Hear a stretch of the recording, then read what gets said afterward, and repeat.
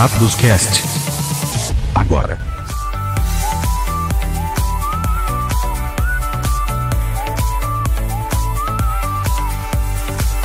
Bora lá então. Hack dos Cast, episódio 72, seu podcast brasileiro de MTG. Eu sou o MP, seu host. O Felipe tá aí. Fala, Felipe. E aí, pessoal? Então, hoje o Fernando ainda está estudando, o Grilo ainda está estudando, então é nós. Alguém tem que, né? Alguém tem que trabalhar nessa bagaça, né? Exato. o Clods, que vai fazer o programa hoje com a gente lá na principal, ele no momento está falando em trabalhar, né? Ele está no camarim e o Teobaldo está cuidando dele. o Hack dos Cast, para falar com a gente, hackdoscast.gmail.com, o Facebook está embaixo, o YouTube também, e o Twitter é arroba hackdoscast. Para quem quiser dar um feedback, dizer se o som tá bom, tá alto, tá baixo, se falta falar alguma coisa, enfim. E, é, o Felipe, por que Hack dos Cast mesmo? Que aqui é BR. Spot on, my friend. Spot on. Então eu tô me sentindo meio britânico hoje. meio britânico, meio barra Joel Santana. Que isso. É, é, é, o... Agradecer primeiro quem deu feedback aí do, do som, né? Que eu fiquei preocupado se a qualidade do som tá, tá melhor, tá pior. Tem um volume de nós mais baixo, mais alto. É, obrigado o Tandora e o Foca aí que deram. Acho que o Giovanni também lá no, no Facebook deram feedback que, dizendo que tá bom. Espero que quando o, o Clots chegar consiga aí equalizar os três volumes. Bom, lembra que a gente falou de times? É. No, então, no programa passado, o Giovanni ele colocou lá no, no Face como funciona o campeonato de time em xadrez, né? Que também tem uma dinâmica é similar à do time é, selado quando você joga aqui, né? Hum. Porque dependendo de onde você coloca o jogador com mais experiência, a tua equipe pode ter uma certa vantagem, né? É uma estratégia comum, por exemplo, ter jogador mais experiente e com um deck rápido sentando na posição B, que seria o meio para ele terminar o jogo mais rápido e poder ajudar os parceiros que estão dos dois lados. Uhum. É, mas eu ainda falho. A gente vai falar mais de Pro Tour de time lá que tem notícias sobre isso, mas eu ainda falho em ver como que é, o aspecto time pode influenciar alguma coisa no teu deck, nas cartas que você compra ou no, no Magic, no, no, jogo mesmo, né? É muito pouco. É só se você puder conversar com alguém, como é nos no, nesses campeonatos selados, mas Felipe, esse Pro Tour de times, eu acho que é mais para dar uma chance para os patrocinadores aparecerem, para meio que fazer o pessoal acabar escolhendo, em vez de escolher um jogador, escolher um time inteiro, então diminui o número de opções, né? Porque fora isso não tem muito que, o que colocar de espírito de equipe no Magic. Na verdade, o que eles fizeram é aproveitar uma coisa que já existia, né, que esses times que eles eram todos patrocinados, eles estavam juntos e tal, e colocar, aproveitar isso para benefício próprio, né? E aí eles diminuíram o número de jogadores porque o pessoal da Ásia tava reclamando que, que era um time muito grande e tal. Então aí o pessoal meio que ficou, sei lá, cara, acatou, né? E foi atrás dos times e meio que todo mundo ficou meio secretivo e tal. Aí teve que combi combinando quando ia fazer as coisas, com quem ia trabalhar e acabou modificando hum. um pouco. Só que você tem times que estão, na verdade, testando junto, né? É, eu acho que o grande aspecto de time que a, a, tem no Magic, mas não aparece pra gente, é o teste, né? É, quando eles ficam essas duas semanas aí, depois que a edição sai, uh, até o Pro Tour, cozinhando decks e testando as matches, para até a, a, refinar até o sideboard, até a última carta do sideboard eles precisam fazer esses testes. É aí que entra o aspecto time. Na verdade, nem precisa ser um time de pessoas que vão jogar o Pro Tour, pode ser simplesmente uma pessoa que vai jogar e amigos dispostos a, a ajudar. Sim, exato. E aí, bom, eu, eu, não sei, né, como é que vai ser. Talvez com o tempo as coisas se adaptem. Mas é, os times meio que não. Eu acho que, pelo que parece, não estão necessariamente treinando só os seis jogadores do time, né? Então. Vamos. Não sei até que lado, até que ponto, né? É, vamos esperar, mas assim, o Magic ainda, continua ainda sendo aquele jogo que você pode pegar o seu deck sozinho, jogar contra o teu amigo sozinho, né? Não, não tem essa coisa, esse apelo de, de time, de, de equipe. Ainda não, eu pelo menos não consigo ver isso. Gigante de duas cabeças. É... Cara, eu acho que já teve é, Pro Tour, assim, ou GP, já, assim. Que, não, acho que já teve, sim. É, é na época que eu tava parado, mas eu sei que já teve campeonato grande, assim. Imagina a bagunça. Não teve também de uh, Rochester Draft, não é? Teve, teve. Esse era um formato bem famoso antes. Então, cara, sem sentido, cara. Eu até hoje nunca joguei um Rochester Draft. Também não. Acho não precisa mais também. Nem vou jogar. É, a, a gente teve uma conversa legal com o Tandor na liga também que, sobre Modern, né? Porque o que acontece? No top 16 da semana passada lá na Star City, era um torneio Modern de 150 jogadores em que apareceu um deck de Dredge. Uhum. E essa semana já, spoilers aí da fase de combate, não tem nenhum no top 16. Nenhum. é, teve também 150 jogadores perto disso, né, no torneio Modern. Não foi o torneio principal, mas teve o torneio lá. E não teve nenhum Dread no top 16. E no Magic Online, Tandora, eu fui dar uma olhada. da- Desde o dia 28 eu fui olhar todos os decks no Modern. Não, desde o dia 27, se não me engano. Até hoje, dia 31. É, todos os dias, todos os decks do Modern que estão fazendo 5-0, que estão terminando as ligas invictos, tá? Uhum. Então o que, que você aparece lá? O que, que você acha que aparece, Felipe? É. Mono Red. Mono Red não, né? Burn, né? Aparece um Burn de vez em quando, mas aparece mais a Tarka Red. Os decks do Tier 1 do Modern, né? Um Jund, o Tron, o Eldrazi, Infect sempre ah, tá muito bem. Oi? O Delver, Grix Delver tá aparecendo também, né? Grix Delver de vez em quando aparece. Sempre tem um deck de controle, assim. Às vezes nem, nem uso. Às vezes vai pro lado dos espíritos em vez do, do Delver, mas é, é, isso, é isso que a gente vê. E Dread a gente não vê. De vez em quando ainda tem um deck correndo por fora lá. Eu vou posso até colocar a lista do, dos últimos decks Modern aqui na, na descrição para o pessoal ver. Mas às vezes tem uns decks que correm por fora, por exemplo, o deck que chamaram de Tyraels. É aquele deck que tá fazendo o preço de Retract, aquela mágica de Mirrodin Hum. subir de preço, sabe? Ah, que o pessoal tá falando pra banir Moxopal. Isso. O que Você baixa essa SRAM, é, o Pursuit Paladin e vários equipamentos que custam zero. E consegue. No, se você der sorte no. ter- não, no terceiro turno. Você consegue vencer o jogo. Com É. Storm. Eu só não sei porque o pessoal já tá pedindo ban da Moxopal, sendo que não é problemático Ela é, parte, deck. ela é parte importante desse deck. Não tanto, né? Porque ela não dá draw, ela dá uma Não, é que ela, ela pode. Ela gera a mana a vermelha. E é, você podendo baixar mais de uma Mox, você vai comprar seu deck inteiro, né? Você podendo baixar mais de uma, te possibilita jogar o terceiro, a terceira encantadora de, de equipamento, né? Sim, mas é que você tem que ter jogado uns equipamentos antes, né? Senão ela não são os artefatos que você tem que você quer dar draw, né? Você só quer botar depois de colocar um, um, um paladino ou um sun. Não, sim, mas é, às vezes ela é que vai te dar a mana azul para você dar o retract e fazer todo o draw de novo também. Então, gerar essa mana é sim, importante. você pode gerar outra mana, mas. Não, não- não vejo como. O- é o problema do deck. o- É, é mais um deck ah, modern, linear, que não interage com o oponente. Pra, pra não acho dizer que na não interage, tem. banir, Oi? que Eu não acho que é tudo isso, né? Eu Pra- não acho que é tudo isso. Pra banir? Não, eu tô falando, é, o deck não é tudo isso. Segundo, se é pra banir, bane, bane logo o Grape Shot, cara. Eles não querem Storm, então. Eu, que eu, achei, eu achei coisa engraçado que a- as duas peças desse deck, que é o Saran, a, a lenda branca e o Pursuit Paladin, morrem pra Fatal Push, morrem pra Raio, morrem pra Path, e mesmo assim eles não tem. tiverem equipados, né? Oi? Se eles não tiverem equipados. Não, se não tiver equipado, claro. Porque esses equipamentos que custam zero, dão mais zero, mais 3, né? Fica umas coisas ridículas, tipo uns, um Paladino 2 barra 8 na mesma, umas coisas assim. Tipo.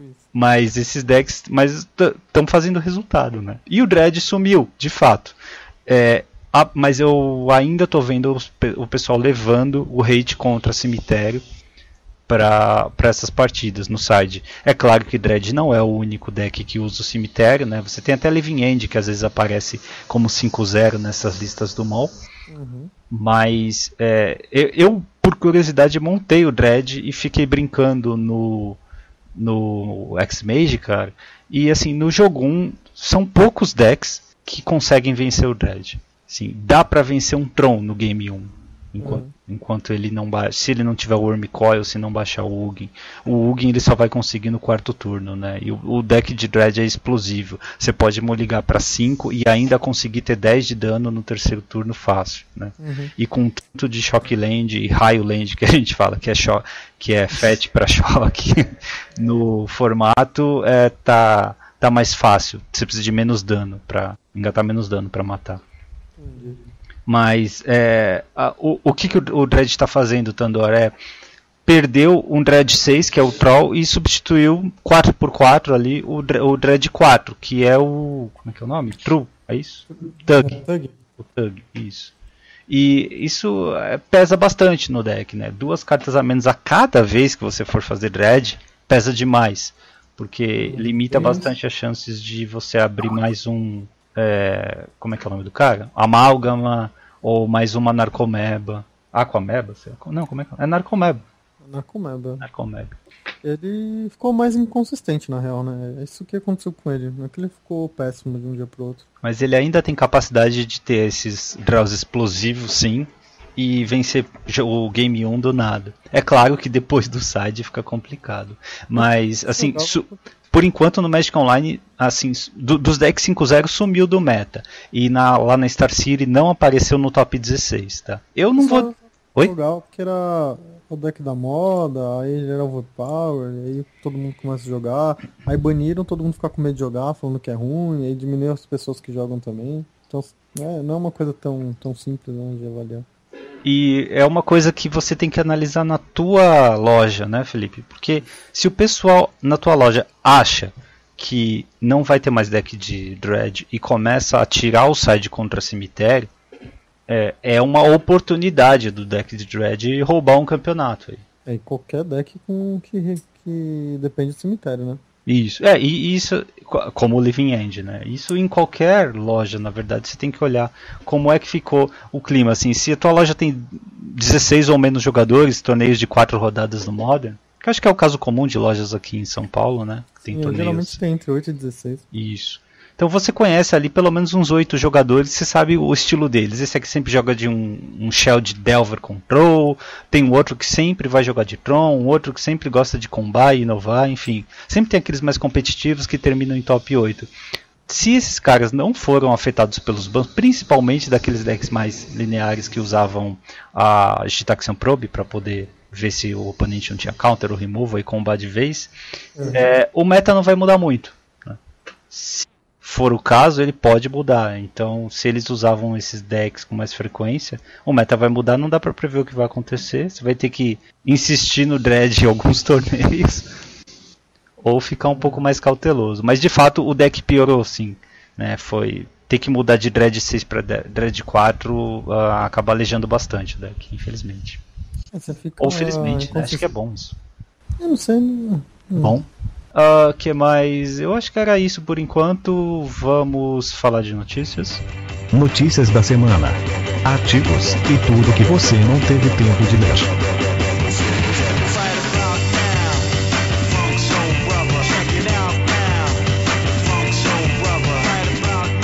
Fase de manutenção.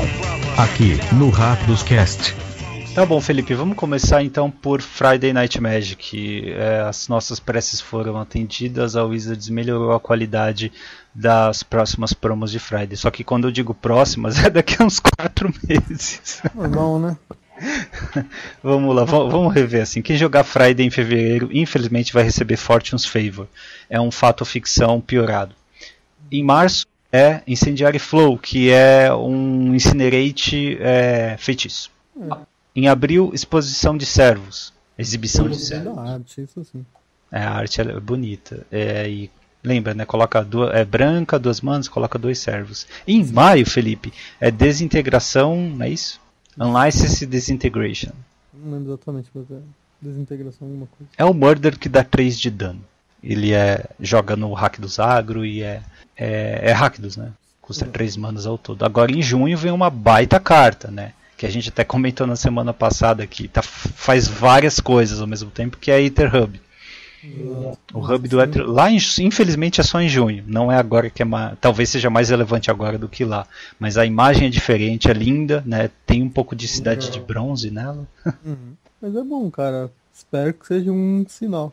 Espero que essa tendência continue e lancem mais promos relevantes, né? Assim, poderiam, em vez de lançar esse Fortune's Favor, lançar, por exemplo, uma Dual Land de, de Lua Arcana, da, ou de, de sombras, né? Sei lá, em vez de. As, as outras até que são legais, né? Então, é, como eu vejo as outras, eu acho que talvez eles acharam que ia jogar. Agora, eu quero muito que saia Fatal Push também. Então, eu vi um pessoal no, no Facebook falando que acho que não vai sair, eu acho que não tem por que não sair. PF saiu, aí o pessoal reclamou, ah, PF trouxe muito jogador competitivo. Eu acho que a Derrub também traz, cara. Então... Não sei. A Wizards toma certas decisões e diz que a gente está fazendo isso porque tão, tem menos gente aparecendo em Friday. Antes de ficar mudando e criando outros campeonatos, Standard Showdown e banindo carta, eles têm que olhar também o que, que eles estão dando para as pessoas que vão ao Friday, que saem da casa delas, né, vestem as calças, em vez de ficar jogando Magic Online, vão até lá, monta o deck, paga para jogar e ganha o que? Fortune's Favor. Pô. O problema é que tem gente que acha que quando a carta é boa, só traz jogador competitivo e aí jogador mais casual, que é o público do Friday, não vai querer jogar. Teoricamente é o público do Friday, viu? Eu não acho que é bem assim não. Então, né? não, eu realmente não acho que é assim que, que fica assim. O povo é. não vai gostar assim do que tem mais jogador competitivo na loja. Sei lá. Você acha que então colocar tipo Fatal Push, outras caras, até carta rara, vai atrair esse público mais competitivo e aí pode. É, mas eu não vejo tanto problema nisso. Eu particularmente não vejo. Tem gente que acha que jogador competitivo vai lá e vai estragar o clima do Friday. Ah, é, talvez seja as pessoas que eu conheça, né? Mas o, o público que eu, eu conheço, quando quiser jogar casual, joga Commander, monta e joga Commander. Quem vai no Friday quer testar deck tipo 2 para um PPTQ que está chegando, ou para um GP que está chegando, é, ou porque acha que consegue vencer, não é o, o Mega Spike da vida, mas é o cara um pouco mais competitivo assim. Não é o cara que comprou o Planeswalker deck, sabe? É, não sei. Sei lá, pelo menos o pessoal que eu conheço, assim, na, na loja do ouvinte for diferente. Oi? Faz muito tempo que eu não vou em Friday, então deve fazer o quê? 10 anos? Então. Não, pra mim faz tempo que eu não jogo um Friday, mas volte e meia você tá conversando com alguém, tá numa loja, no evento, a pessoa fala, eu vou no Friday daqui a pouco, alguém tá afim de ir e tal. Então você sabe quem é que tá indo e por que tá indo, né? É. É, vamos falar de limitado, então a liga de Revolta do Éter é, você pode jogar ligas no Magic Online, mas existe também ligas em papel. Né? Como é que funciona? Você abre uma pulselada, brinca com ela e depois vai adicionando boosters. Né? Eu acho que tem loja que faz liga com draft também, que essa coisa varia. A gente já fez liga de cubo. Lembra disso? Você jogou? Joguei uma vez só. A gente jogou uma semana, draftou. Aí na semana seguinte adicionou um booster. Na outra semana adicionou mais um acho que eu não, não lembro se joguei, na verdade. Porque eu não. jogava tão pouquinho. Mas, pera, agora lembra agora, nós não draftamos, foi uma pulselada. Só que no cubo quatro boosters bastam, né? Então, foram só quatro boosters. Mas é legal porque teu, você vai melhorando o teu deck a cada semana, né? É, vai jogando mais partidas a cada semana. E é um torneio, esse sim é bem brincadeira, né? É, a Carol fala lá no vídeo do canal Magic The Gathering Brasil, o canal oficial do Magic aqui no Brasil, que é, como que funciona essa liga e diz que você pode ganhar, inclusive, se participar da liga, uma ficha dupla face. Uma face é energia e a outra face é Gremlin. Legal. Eu nem sabia que eles iam fazer essa ficha, cara. Também não, mas achei legal. Uma coisa para você ganhar se você visita a tua loja com frequência e joga a liga. Interessante que mais? É, eu vou pular aqui, Felipe. É, lojas vão distribuir lentes de batalha por Zendikar com a arte das expedições. É, eu achei. Não sei, cara, na verdade, achei bem é, estranho. Então. É mais uma forma da Wizards premiar as pessoas que vão para as lojas físicas jogar Magic. Né? O que, que vai acontecer? É, nos próximos meses, as lojas vão receber uh, três play, é, depende do tamanho da loja, né, mas tem loja que vai receber playmat ilustrado com arte de Amon Kef e pacotes de terrenos. Lembra daqueles Dual Lands novos que saíram em Batalha por Zendikar? Uhum. Então, são todos de cores amigas, né? E jogam muito em Frontier com os Fatlands. E é, dependendo do tamanho da loja, ela pode receber até 30 desses terrenos. E é para distribuir para os jogadores. A orientação aqui é para os jogadores que participarem de seis eventos tipo dois na loja. Legal. É. Mas no fim das contas acho que fica a cargo do, do lojista, né? Esses terrenos eu vou deixar o link aqui para quem quiser ver, mas eles são a arte das expedições de Zendikar, mas o frame normal, o texto normal, não tem arte estendida, é uma carta normal. Uhum. Expectativa de preços de, de coleção dessa carta, Felipe, dá para correr atrás que nem um louco? Precisa? Não, não sei. É, a demanda é limitada, né? Porque são acho que 20 cópias né, por loja, assim, mais ou menos. É média. 10, 20 ou 30. Depende É, do tamanho então. da loja. Aqui em São Paulo, por exemplo, não deve faltar muito, mas vai estar concentrado na mão de alguém. Eu não sei quem, quem pagaria mais por uma land normal, sem ser foil, só porque a arte é um pouco diferente. Me parece um pouco difícil de conseguir, porque você precisa jogar seis eventos padrão nessa temporada. Você Né? joga seis Fridays em quatro meses. É, não, pra mim não é fácil, porque eu não vou, eu não, Não, não, vou em não todo que não- Friday. Não que seja mega fácil, mas joga dois Fridays por mês, no máximo, assim. Nem isso precisa. E mesmo assim, talvez você não ganhe, né? Se a loja for pequena e tiver muito, por algum motivo muita gente jogando, o lojista vai ter que sortear ou dar um jeito aí. Depende de quantas cada loja ganhar, como vai ser distribuído. Se vai ser premiação, se vai ser por frequência, se vai ser sorteado. Eu acho na vai ser uma para cada jogador, se vai, vai distribuir o set. E assim, é a terceira versão dessas cartas em um ano e meio, né? Tem as É. expedições, tem as cartas normais, tem as normais foil também, e tem as foils de pré-release que você podia abrir, e também tem é, essas de agora. Então, eu acho que o mercado assim, paralelo e para colecionador, algo que vai valorizar mesmo são esses playmats de Amonkhet. Aí eu acho que Esse tem sim. mais chance mesmo. É, são coisas que a loja vai ganhar. Ela também vai ter posters e tal, mas isso ninguém vai pegar. Agora, esses playmats devem ser bem limitados, são apenas três, né? E Uhum. esse sim, aí é, é- aqui fica a cargo da loja como entregar. Só que não tem a arte ainda, claro, porque a Wizards está escondendo o jogo de como vai ser a Moncaf. É que eu acho que Tá não, certo. não vai valer muito a- as lentes, porque elas não estão jogando Modern, até por causa da. é, como chama? Das Fast Lentes novas. Sim. E, então, eu acho que a procura dela não vai ser grande, vai ser Commander. É, e que- quem quiser. se Eu prefiro uma foil, ou uma Expedition, ou essa lente. Não, se você quiser pompar o seu cubo, o seu commander, alguma coisa assim, você vai para expedição, né? Uhum. Essa É uma foil normal. Ou para uma foil normal, exato. Ou uma foil de pré-release. Você lembra se tem foil terreno de pré-release ou se é só colorida? Porque no- nos pré-releases que eu joguei ultimamente, a minha foil e a sua, do pessoal que eu acompanho, sempre é uma carta de cor. né? Hum. A, a- a minha última veio uma carta incolor, mas era um, um veículo que tinha uma habilidade ativada com mana branca. Não, acho que não tem nada a ver. Porque. Será que pode vir um terreno promo, então? Acho que pode, tinha Cinderglade, eu lembro de alguma coisa assim, um É? Cinderglade Ah, ou então. Canapista Foil. Então é mais uma opção para você correr atrás se você coleciona esse tipo de carta, mas também acho que é só uma, um agrado, um pequeno agrado para quem for jogar essa temporada. Tá um pouquinho tarde porque a gente tá falando de terrenos de batalha por Zendikar que são de 2015, né? Seria muito bom se eles dessem as Fastlands. É, eu também sou a favor. Na verdade, cara, eu daria Fastland até em Friday. Sim. Você tem um, um frame aí de seis meses para dar de uma edição só. Coloca um, fe um Fastland, sabe? Mas não, estão dando umas outras cartas esquisitas. Lembra da época que davam essas cartas, né? É, tinha Pendelhaven, por exemplo. Teve, Uhum. Pô, teve umas cartas bem fortes. A gente fez o top 10 aí. Madre das Runas, é. que mais? Espadas em Arados. Serum Visions, cara. Uhum. Eu acho que. Eu não sei. É, é- o que me incomoda, na verdade, é porque é de sombras. Não é de Kaladesh. Eles estão introduzindo uma coisa que já está ultrapassada. Não, esses terrenos são de batalha por Zendikar. É mais antigo ainda. ainda. É. Verdade. É, Mas então, eu- era eu-. Eu, eu acho que entre esses e os de Sombras e Innistrad, esses de Batalha por Zendikar são melhores porque são dual lands. Tudo bem, mas é que você tá fazendo o cara jogar T2 pra ganhar. Pra quando ele ganhar, tá quase, quase saindo do T2. É, porque ao fim da temporada vai ficar, vai ficar faltando 3 meses para essa carta sair do tipo 2. É Você tem verdade. que jogar 10 no período de. Antes de Amonkef, né? Amonkef vai em abril. Battle vai. Fica até quando? Até outubro. Até outubro? É. Depois É, a. Tem 6 meses. bloco depois de coisa.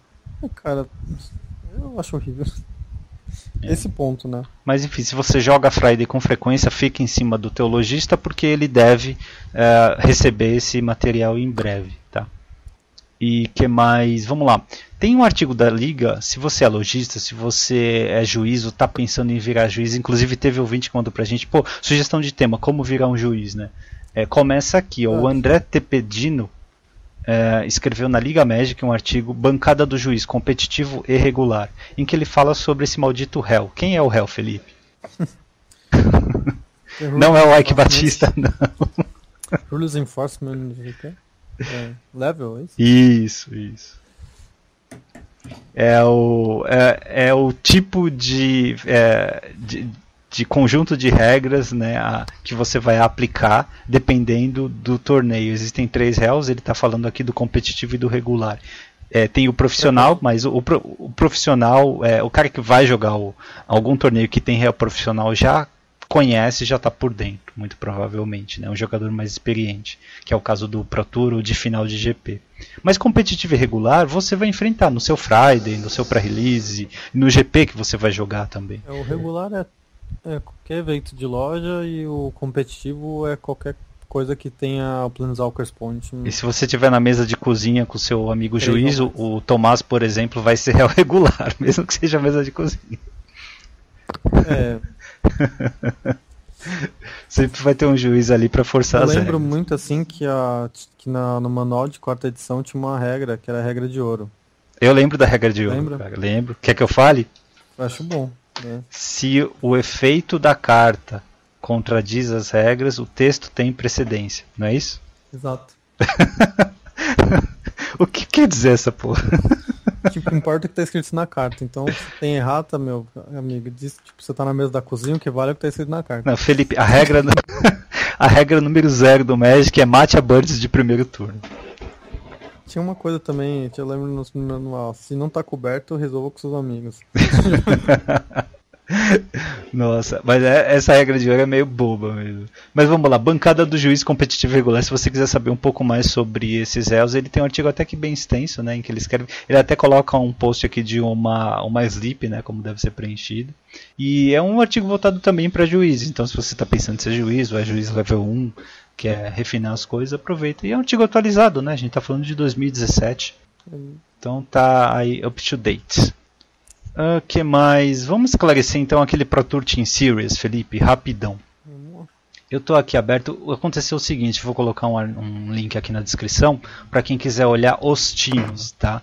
É, todos os times já foram é, definidos. Eles têm nome, têm os integrantes. Lembrando, o que, que vai acontecer? O Pro Tour vai acontecer normalmente, certo?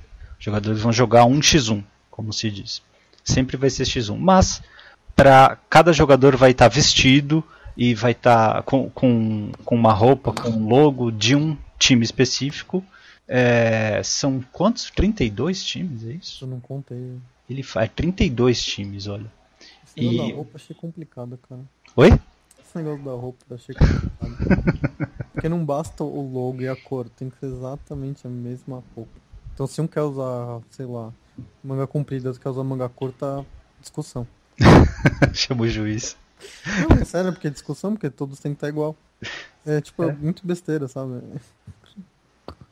Pelo menos não é mesmo corte de cabelo, ou se um tem cofrinho, mostra o cofrinho dos outros também, né? Essas é. coisas. A gente sapato não igual, né? O sapato igualzinho. A gente não chega nesse nível. Mas enfim, é, por que fazer parte de um time? E a Wizards pensou o seguinte: bom, vamos separar esses jogadores que vão participar da temporada inteira. Tá? Essa temporada inteira termina no meio do ano com o Pro Tour Hora da Devastação. E vamos separar esse, essa turma em times de seis pessoas. Aí a gente vai juntar, somar os pontos que eles acumulam, aqueles pro points, né? Que os cinco melhores do time, então são seis pessoas no time, que os cinco melhores acumulam, a gente junta, soma desses três Pro Tours uh, até o meio do ano. E lá no final, os dois times que tiverem a melhor pontuação somada vão jogar um torneiozinho entre eles e vão ganhar prêmios. Eu acho que no último Pro Tour conta dos seis, não é? Ah, assim. Eu acho que não, acho que é dos cinco. acho que é, deixa eu procurar aqui, mas eu acho que no último Pro Tour conta de todo mundo. O, lá no, no final do torneio, no meio do ano, são 250 mil dólares que estarão em jogo. Lembrando que você vai ter que dividir em seis, né? Então, não é tanto assim. Mas, enfim, Felipe, é, nós temos 32 times, é, eu vou deixar o link para quem quiser ver aqui. E, é, assim, os jogadores mais conhecidos, aqueles que são Platinum, Hall da Fama, estão todos eles, né? Vamos dar um, um pouquinho de atenção aqui, onde tem brasileiro. Né, começando pelo time. Ah, é uma outra coisa, né? É a, a criação desses times deu oportunidade para patrocinadores colocarem o nome deles nos times. Exato. Que é uma coisa interessante, patrocinador aparece mais, né? E talvez mude. Já fazia isso, né? Já, já faziam, só que os times eram enormes, eram equipes gigantescas, né? Sim. Agora, dá, isso cria uma dinâmica diferente também para as equipes cozinharem decks, né? onde antes a, todo o time da Channel Fireball se juntava e da Star City se juntava para criar um deck, Felipe. Agora eles podem decidir fazer entre apenas seis, né? Sim, é. Eu, eles, eu acho que eles não estão não são não estão se fechando tanto assim não. Mas... É, eu acho que alguns podem estar já pensando nesse, nessa possibilidade, né? Mas acho que você tem mais a ganhar quanto mais pessoas participarem do processo. O time que tem o primeiro brasileiro aqui é o Channel Fireball Ice, que tem o Paulo Vitor. Né? PV atualmente, se não me engano, é o único brasileiro lá no top 25, jogador que todo mundo conhece. Além do PV, só tem estrela aqui, né? O Yo Larson, Ben Stark, o Ifro, é, entre outros. Tem o time Dex Army, que esse time tá uh, também uma, uma galáxia. é, vamos lá, Felipe, quem tá no Dex Army?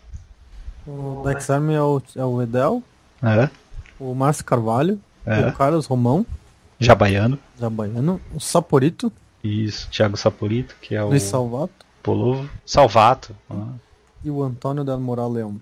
Isso. Então, Argentina, Portugal e Espanha e Brasil, né, juntos aqui. É o time do Portunhol. Isso aí. Portunhol é a língua obrigatória do time. E eu gostei, cara. Olha, Edel, Márcio O Carvalho Moral Leão é espanhol, né? e o Luiz Salvato é argentino. O, o Edel, o Márcio Carvalho, o Jabaiano, o Bolovo. Cara, é só estrela, né? O, o Edel e o, o Saporito de vez em quando batem ali nos top 25 do, do mundo, né? Então sempre tem um bom desempenho em Pro Tour, ultimamente, né? Tem, tem Uhum. tido. O Jabaiano, é, quando ele decide, eu quero é, vencer esse GP, ele vai lá e vence. Aconteceu duas vezes no passado. Ele tá voltando aí a jogar bem forte no competitivo. E agora com, com o Pro Tour Series e, e o resultado que ele teve ano passado, eu acho que esse ano ele deve vir mais forte. E o Jaba que protagonizou uma mirror match de controle no ano passado, em que ele foi excelente, né, no top 8 daquele. É, foi GP ou Pro Tour? Não lembro. Não lembro. Não lembro. Eu lembro que ele venceu um GP. Era Dois, melhor né? cinco- foi melhor de 5, então é Pro Tour. Foi Pro Tour. Ele mandou muito bem. E é, é para quem não tem noção, né, é dificílimo jogar mirror match de controle. Né? Ele tá E- jogando contra um mestre, né? E a velocidade contra que, com a qual ele estava jogando também mostra pra gente que ele passou o tempo, mas ele não perdeu em nada a capacidade dele. O cara ainda manda bem. Além de ser experiente, continua sendo um ótimo jogador. Então, boa sorte também pro Dex Army, que esse aí tem três brasileiros, mais o Márcio Carvalho. É, que mais? Tem mais um, um, um time de brasileiros, Felipe. O Liga Magic. Isso, Liga Magic. Tem o Obama, né, que é o Marcos Paulo Jesus Freitas, o Marcelino Freeman, Guilherme Merjan, eh, Sebastião Pozo, Eduardo dos Santos Vieira e o Pedro Carvalho. Exato. É Brasil mais Argentina nesse time. Boa sorte para eles também. O Freeman é mexicano, não É argentino. é? Marcelino Freeman? É. Ah, não, é mexicano, é mexicano. É verdade. Brasil, México e Argentina. Tudo bem. Tem times bem orientais aqui, tem times mais americanos, enfim. Eu acho legal o pessoal que está escutando isso escolher um time. Não sei, às vezes é o Pro que joga com decks parecidos com o seu, às vezes é o Pro que escreveu artigos que você leu e gostou, ou o Pro que faz os vídeos que você assiste, sei lá, escolhe um Pro um conjunto de Pros que está num time e diz pra gente que time você acha que vai estar lá na final depois do Pro Tour, a hora da devastação. Nós aqui do Hack dos Cast fizemos, né, Felipe, um mini bolão. É isso aí. A gente vai dar mais detalhes no programa da semana que vem. A gente tomou cuidado de tentar escolher, né? Cada um escolhe dois times diferentes para achar que vai estar tá lá. É, que a gente precisa soltar aí, né? Semana que vem já vai ter. O Pro vai ter acontecido, né? Isso, até lá o Pro vai ter acontecido. Semana solta, vem... a gente solta oficialmente algum canal antes. Isso, só precisa. Você não achar que a gente tá roubando. Só precisa, só precisa o palpite do, do grilo. My name is Chandra Nalar. Don't be blinded by Tezzeret's lies. Do you feel safe? Do you feel free? Enough! Initiate crowd control. É, mais? Ah, vamos voltar aqui pro Brasil então. Cara, o queria destacar um vídeo do André do Motivo. Ele fez um vídeo de Collected Goblins no Modern. Não vi. Cara, Collected Goblins não precisa falar mais nada, né? Goblin Grenade, é, Companhia Agrupada, muito legal. Ele fez mais de um, na verdade, né? Eu, eu, eu curti assistir o, o, vídeo dele. Aliás, o campeonato de youtubers ainda está acontecendo, quem quiser olhar lá, acompanhar seus youtubers. É um campeonato tipo 2 Pauper, tá? Vários youtubers brasileiros estão estão participando e você pode às vezes olhar o mesmo jogo nos dois canais para ver o ponto de vista de cada um. Que é bem legal, né? Isso dá uma uma visão bem diferente. E é um formato acostumado. E é um formato diferente. Você não pode dizer, ah, eu sei o que acontece nesse formato. Não. O Clotus vai falar mais pra gente depois também, né? Isso aí. O que mais? Felipe, a Vintage Super League tá acontecendo. Eu não acompanhei dessa vez, mas eu vi. Acho que teve a final. Tava na final, não tava? Coisa assim. É, na, eu, eu não cheguei a ver se terminou essa semana, mas eu sei que ela tá acontecendo desde o começo do ano, né? A Vintage Super League voltou. Tem vários vídeos lá no canal da Wizards. Assim, é, é divertido assistir aqueles decks absurdos, né? As gravações são de uma hora, mas cada partida assim é. Vai até o turno 3 às vezes, sabe? Nossa, é muito, é muito grande, né? Porque são quatro partidas por dia, né? Uma coisa assim. Três Sim. partidas por dia. Por e elas são, narra elas são narradas, explicadas direitinho também. Então, quem Nossa, curte é um vintage... bem legal. É, e eu, uma coisa que eles fazem, eu não sei se é, é, de repente a Wizards que está pedindo para fazer isso ou se já teve a final, viu? Foi semana passada. Já, isso. Então, eu não sei se é a Wizards que pede para fazer isso ou se vem deles mesmos, mas os jogadores tendem, a, alguns deles, né, tendem a colocar cartas bem novas para provocar inovações no formato. É, não sei também se é, se é a Wizards ou se é eles que. Pois é, porque. Eles estão sem patrocínio, não é? Quem. Olha, eu não, não, não conheço esse detalhe, Felipe. Mas eu sei que eu lembro do ano passado, por exemplo, tinha deck de espíritos. Agora ainda tem deck de espíritos, de vez em quando alguém pilota, né? Tem deck de Eldrazi ainda, mas é, Se eu não tô vendo, se eu tô vendo certo, a final foi a Rachel Agnes com Silver Mentor contra Sephiroth Manadian de White Eldrazi. Tinha que ter Mentor versus Eldrazi na final, né? Exato. Esse é o vintage. Esse é o Vintage. Eldrazi invade até esse formato. E enfim, agora é a hora do, do mall, já que a gente já está pisando lá no mall, Felipe. Teve o artigo do ano do Magic Online, né? É, dizendo que ah, o ano passado foi legal, a gente fez várias coisas, teve liga também, é, teve gente entrando no Magic Online, celebrou as várias conquistas de 2016, né? E no final teve a nota de adeus ao Worth Walpert, né? Quem joga Magic Online deve saber aí que tem até uma hashtag famosa, né? Blame Worth, porque ele é o cara responsável pelo Magic Online dentro da Wizards, ou era, né? Desde a, do início do Magic Online, ele estava 16 anos lá, desde 2001 quando o Magic Online começou. E ele saiu da Wizards. Não sabia. É, ele a Wizards está com um estúdio agora, né, para administrar tudo isso. Não sabemos se é, ele se é, que, ainda quem vai assumir o lugar dele, mas ele está está sendo fora. Talvez tenha mudanças bruscas no Magic Online por causa disso, já que ele era o grande responsável por tudo. Mas fica aí à espera. Mas nesse, nesse mesmo artigo, Felipe, eles anunciaram algumas coisas. Por exemplo, o Mox Open né, vai continuar acontecendo. Você pode tentar qualificar para um mock sem ter nenhum qualifier point. Você já jogou esses torneios que dão qualifier point, Felipe? Não sei que, que dá Qualifier Points? Então, é. então, é. torneios dele, ligas, tal. Quando você vence as partidas, você ganha ali os pequenos qualifier points, né? Além do prêmio, tudo, até draft da qualifier point. Né? É um prêmio que normalmente a gente olha e não tem o que fazer com ele. Ele serve para entrar no Magic Online Championship Series, né? O MOX.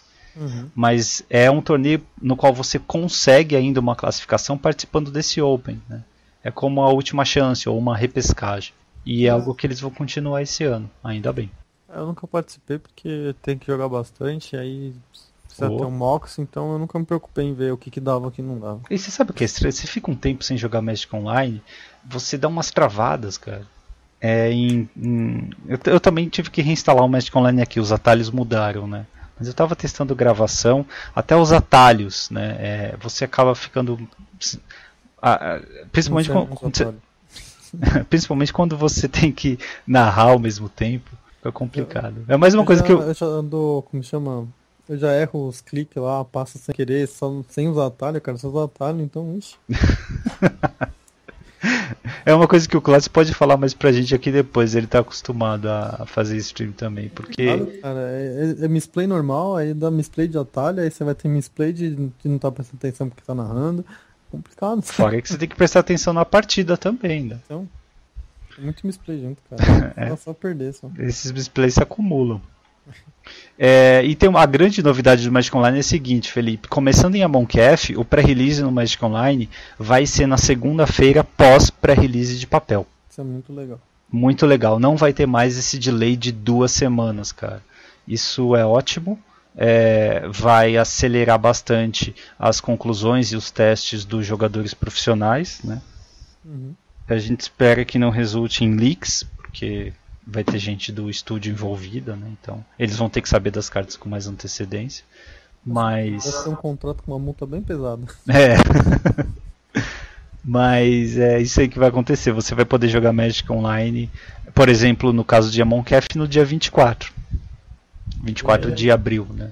Em que é na segunda-feira após pré-release. Eu fico preocupado se isso não vai reduzir é, o número de pessoas que vão até a loja jogar. Hum, não acho não. Até porque você precisa das cartas, é um jeito de conseguir as cartas é indo no pré-release.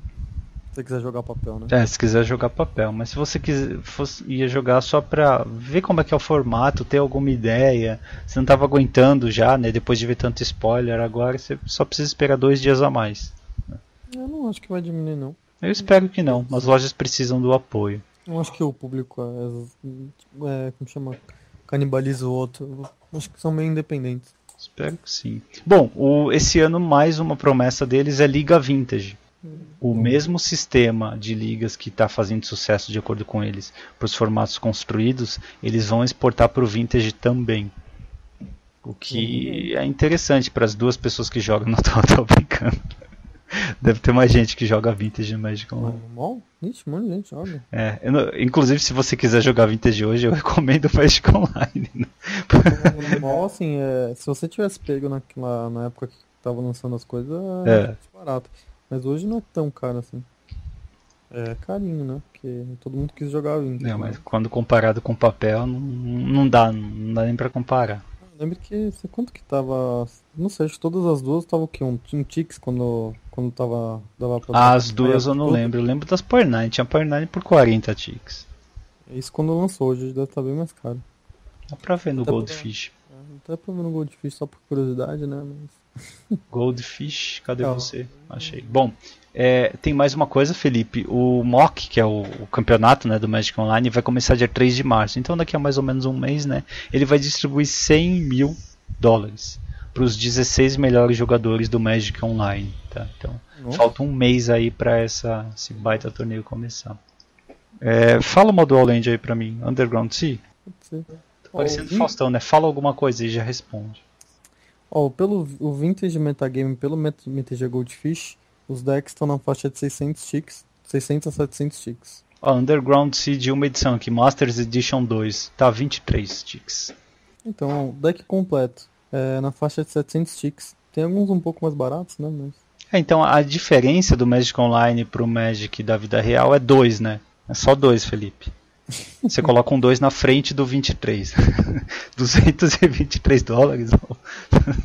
Nossa, que absurdo. Porque, vamos ver se pode jogar uma. por. Vai, é 20. 3 mil reais, vai, você joga, você joga vintage no Você tá louco. 3 mil reais você joga vintage no mall, cara. 3 mil deck reais você dá quiser. entrada numa moto e vai trabalhar, vagabundo. O deck que você quiser. Tá louco. Bom, é, vamos falar de uma coisa aqui um pouco mais polêmica. Envolvendo Magic Online, Felipe. Você chegou a ver isso aqui? Do Superdata? Não, não vi. Seguinte, uma empresa especializada em acumular dados mesmo de jogos, né, chamada Superdata. É é uma, uma firma de consultoria. Ela fez um estudo sobre é, TCGs, né, Trading Card Games, é, online, virtuais. E, é, de acordo com o relatório dela, o Magic, o MOL, é o quinto jogo mais ah, que, que tem o maior ah, revenue. Revenue é receita, né? Diferente de lucro. Receita é quanto você recebeu. Lucro é receita menos despesa, a grosso modo. Lembra das aulas de, Lembro. Infelizmente. da produção? Então. Saudades. É, de, de acordo com o relatório deles, o primeiro jogo adivinha é Hearthstone. O Hearthstone, de acordo com eles, é, no ano de 2016 teve uma receita de quase 400 milhões de dólares. Acho que era esperado, né? Cara, mas é muito dinheiro. É, é, meu, ele é. Ele tá no top mainstream, né, cara? Mas quem é que gasta tanto dinheiro com esse negócio? Ó, vou fazer uma comparação. As mesmas pessoas que eu conheço que jogam Hearthstone e Magic, quando vão jogar, quando gastam dinheiro com Hearthstone é assim, 50 reais porque saiu uma edição nova. E uma edição nova é a cada 4 meses, sabe? É uma vez por semestre. 50 reais pra ter direito lá, a, sei lá, X boosters. Pô, não é nada. Quando vão jogar um campeonato de Magic, que é mais frequente, né? Vão gastar 110 para jogar um pré-release, ou vão comprar o From the Vault 150 reais, ou vão jogar o GP 200 e poucos reais. Ah, cara, mas tem mais gente jogando Hearthstone do que Magic Isso em papel. Isso tem. É, o segundo jogo aqui é bem menor do que Hearthstone em termos de receita, Felipe. É o Shadowverse. Eu não conheço esse jogo. Hum, Nunca ouvi falar. De acordo com o relatório, tem 100 milhões de dólares de receita anual, né? Jogo é esse, cara? Esquisito. O terceiro, o terceiro jogo é WWE Supercard. Eu acho que tem a ver com luta. Eu também não conheço esse jogo. Também não. É, receita de 24 milhões. É, depois vem, acho Deve ser muito forte em algum país aí. Oi? Deve ser algum país aí.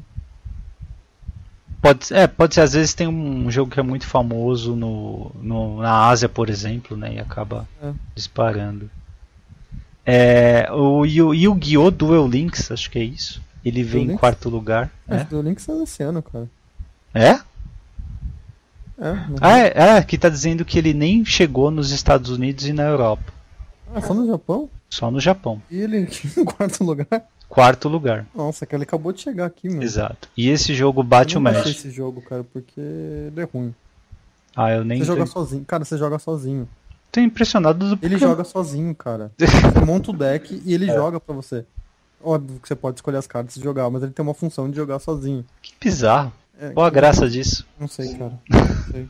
Eu, não eu buguei nessa hora, cara. Eu, eu, eu literalmente buguei é pra você farmar. Ele farma pra você. Ele acha que tá tão cansado das pessoas fazerem bot.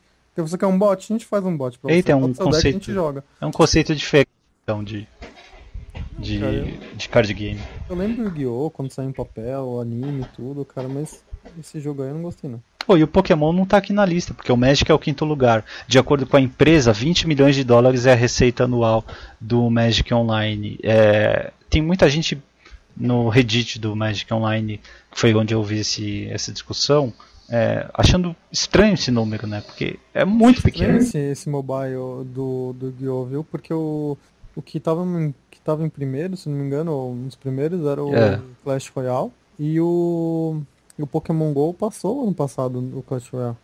Ah, Aqui eles estão levantando é, te- é, jogos de card game virtuais. Ah, então é Tá. esse Só jogos de card game virtuais. Eu tô achando o Pokémon card game também não tá aqui, tá estranho, né? Porque recentemente Pokémon teve uma popularidade maior. Mas acho que ele não gera tanto, né? Não sei como é Pois é, eu pensei que É Hearthstone porque não o- gerava 400 milhões de É eu dólares por ano, cara. Pokémon não tá pelo seguinte motivo. Você compra físico, ganha um negócio. Aí as pessoas vão e compram esse código de quem De quem, tipo, comprou um booster, comprou um produto e não quer jogar online. Então tem esse comércio secundário dos códigos que só valem pro. Ah, tá. Qual. Tá. Então isso ele gera menos receita, porque ele é uma coisa meio conectada com. Como chama? Com o físico, né? Então acaba. Entendi, entendi. Você pode comprar o produto só virtual, né? Mas você, consegue comprar o código de quem comprou virtual, é, o produto físico. Certo. É, agora, quem joga Magic Online, se quiser participar de um exercício aqui com a gente, tenta estimar quantos eventos o Magic Online dispara por dia. Só para a gente saber se cada evento tem 8 pessoas e cada uma das 8 pagou ali 12 tickets para participar, ou 10 tickets que seja. A gente tentar estimar aí quanto que é só a receita né, do jogo. 20 milhões está parecendo baixo, porque o Magic Online não é um jogo barato. Né? E de acordo com, eu não lembro se é a Forbes ou a, o The Guardian, uh, numa reportagem de 2015, Felipe, eles citaram um daqueles reports que a Hasbro solta para os acionistas, né? E que pô, ali um número do Magic, né? Que na época, então no final de 2014, a marca Magic tinha rendido 250 milhões de dólares. Né? Geral, né? Não é só é, a marca Magic geral, mas de acordo. Então, né, trazendo esse número para cá, então Magic Online é menos de 10% do tamanho do Magic. E eu acho estranho, acho que Magic Online é jogado com bastante frequência, até mais frequência se você pensa. De graça, né? É, você pode jogar de graça, mas é, se você entrar ali no, na, nas tables, você vai ver que toda hora tem evento sendo disparado. E para participar desse evento você tem que ter gasto grana com eles. Então, mas alguém recebe, né? Tem um mercado secundário que os outros não têm. Uh, não, sim, mas para participar de evento, cara, tipo draft, você tem que dar os play points, você tem que dar os ticks, entendeu? Então, mas o tic tem mercado, mercado paralelo. Mas eles saíram. Quem é que emite tic? Então, o problema é que você tem uma pool gigante de tic. As pessoas podem comprar de outros jogadores, não precisam comprar. Sim, mas, mas se elas continuam é, usando os tics, eles têm que continuar sendo impressos. Então alguém. Mas eles estavam devolvendo o tic. Agora diminuiu um pouco o pós do Playpoint, mas eles davam um ticket de volta. Sim, mas a, a, conta no final é, é positiva para o Wizards. Né? A casa sempre ganha. Por exemplo, se você for jogar um dele, um dele de Momir, aí o Lucas que deve estar ouvindo está curtindo Momir, você pode jogar dele de Momir. Você vai pagar 20, teu oponente vai pagar 20. É play points, tá? É, que a cada 10 play points é mais ou menos um tick. Então a cada 10 play points é um dólar. Então você paga ali 2 dólares e teu oponente 2 dólares. Vocês vão jogar. No final, o vencedor ganha 30 ticks, ou 3 dólares, e o perdedor ganha 5, né? ou seja, meio dólar. E esse meio que ficou sobrando fica dentro da Wizards. Ele some no vácuo. Ele é meio que a taxa para você utilizar o programa. Então, mesmo quem joga, entre aspas, de graça, acaba dando alguma coisa para a empresa. E 20 milhões por ano parece pouco para um jogo virtual. É, não sei. Mas olha, eu acho que ainda é uma vitória. Tem muita gente achando baixo, acho que isso é, evidencia um problema né, pro Sim, Magic, mas é, é uma vitória, é cara. jogado não é tão. Não, é pouco não, não é. O Magic não foi feito para ser virtual, pô. Você tá competindo com o Hearthstone, com a Blizzard, cara, e tá conseguindo ficar em quinto. Não isso é uma vitória. E o Magic tá, online tá melhorando bastante nos últimos anos também. E agora tem expectativa de mais melhores, de mais produtos, né? Como a gente falou na semana passada. E inevitavelmente, quem está escutando isso aqui e nunca jogou Magic Online ou Duos ou qualquer Magic virtual, eu acho que vai jogar, vai ter contato com isso nos próximos três anos.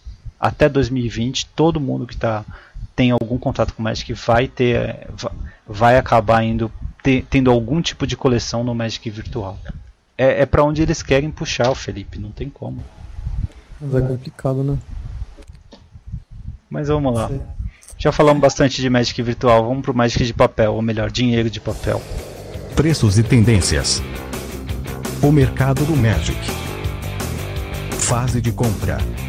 No Rápidos Cast.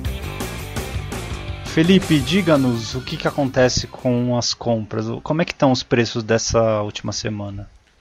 Vamos ver. Eu não vi, pra falar a verdade. MTG Goldfish. Vamos olhar. Enquanto isso, eu quero dar uma olhada no seguinte: Zendikar Expeditions, que foi, digamos, o teste para as masterpieces que nós temos hoje, né?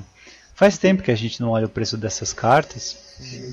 E agora, né, com esse anúncio de novos terrenos chegando, eu só queria por curiosidade ver quanto é que foi, se valorizou demais, se ficou estático. E olha só, adivinha, a expedição mais cara é uma Fatland. Hum, Surpreso? Não. Qual Fatland agora? É o R. Exato, é a Scalding Tarn. A Scalding Tarn você consegue por cerca de 180 dólares, mais ou menos. né? Lembrando que ela é foil, full art, fodástica, né?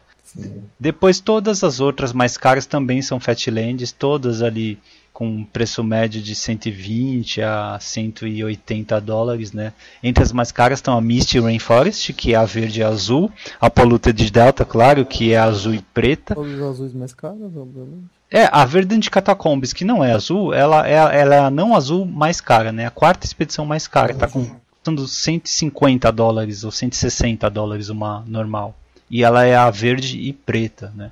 Se você ainda tem boosters de batalha por Zendikar é, e é, juramento, né? E abrir uma dessas, fica de olho porque algumas estão bem valorizadas. Aqui, a primeira carta que não é Fatland que tá cara, ainda está entre as 10 mais caras aqui das expedições, é a Ancient Tomb, que joga Commander e é, Legacy e Vintage, né? Você só consegue comprar uma Ancient Tomb nova por 130 dólares. É muito caro. Caro mesmo. Agora vamos olhar as mais baratas só para quem quiser saber. É Tectonic Edge ainda? Não. São é o ciclo de batalha por Zendikar mesmo Nossa, desses duais novos. É. Todas as cinco são as cartas mais baratas e depois é a Tectonic Edge, cara. Tectonic joga mais que eu, cara. joga pior que eu mesmo. É, olha, acho que tá mais barato que uma Sahili, viu? Quanto que tá a Sahili? 23 ainda? 22? Não, foi pra 22.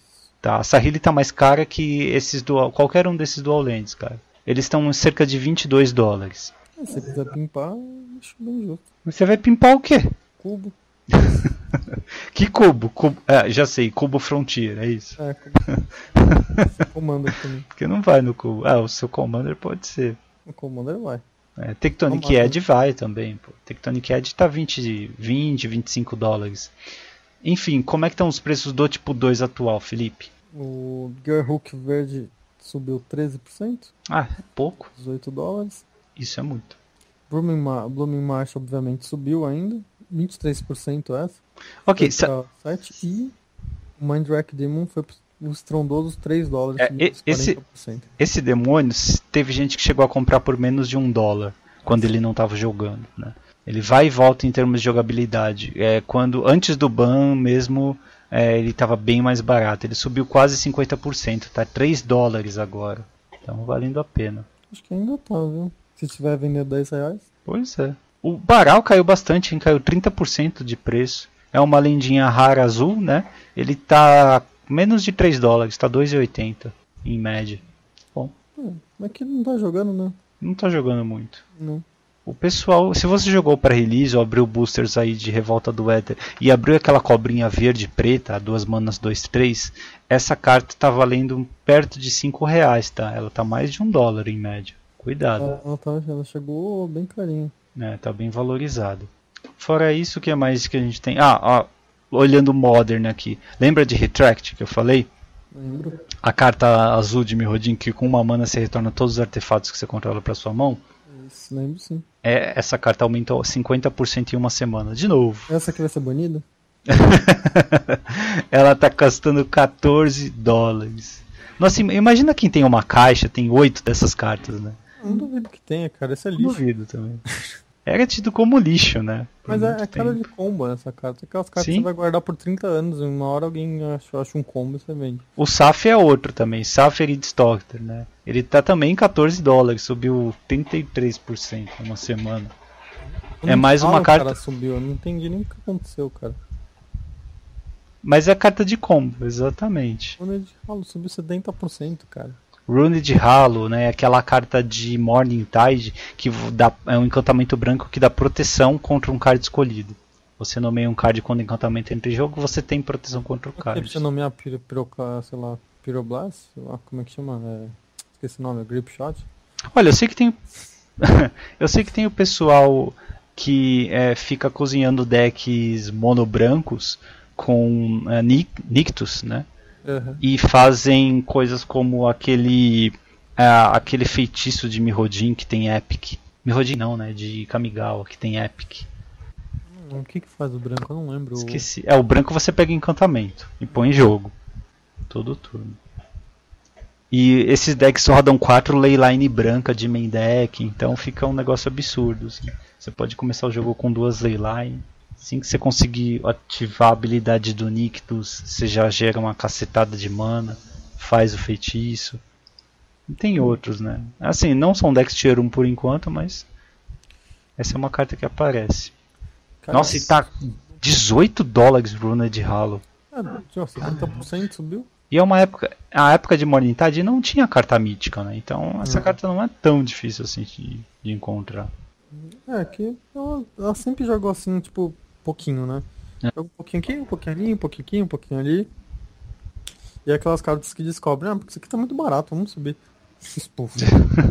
Sinceramente eu não vi nenhum deck jogando, mas alguém deve ter visto algum deck jogar, não é possível, 70%. É ou é aquele coisa. esquema de buyout, ou que nem quando subiu a, as Fatlands, que simplesmente a Star City falou, tá barato, vamos subir.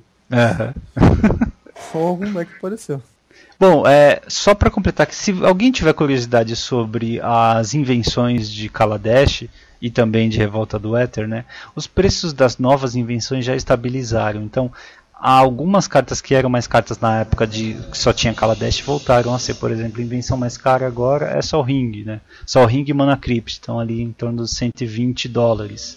Estão mais baratos que alguns terrenos que nós vimos, né? É, Acho que a invenção nova, a primeira invenção nova que aparece é uma Mox, a Mox Opala. caramba. A Mox Opala é a invenção de Kaladesh ou de Revolta do Éter? Você lembra? Revolta, não. Kaladesh. Foi o Grilo que abriu isso aí, né? Foi, foi o Grilo que abriu essa Caraca. carta? Foi, não abri não. Cagão, viu? Se alguém abriu foi ele. É, é, qual ele não abriu, né? Cagão demais. Kaladesh. É, tá, 100 dólares, viu? Só isso. 300 reais, 300 e poucos reais. E entre as mais caras, olha, tem um Gear Hook, que é o Gear Hook. É, o, o Fernando vai gostar disso, o Gear Hook branco aí. Que a gente apostava, né, que ia jogar alguma coisa depois de um efeito cataclisma aparecer no tipo 2. O Gear Hook blan- branco é a expedição, a Masterpiece mais barata. Tá entre as mais baratas, né? 20 dólares. Baratinho. Parece um, um bottom, né? Um, um preço de piso para Masterpiece, 20 Acho. dólares.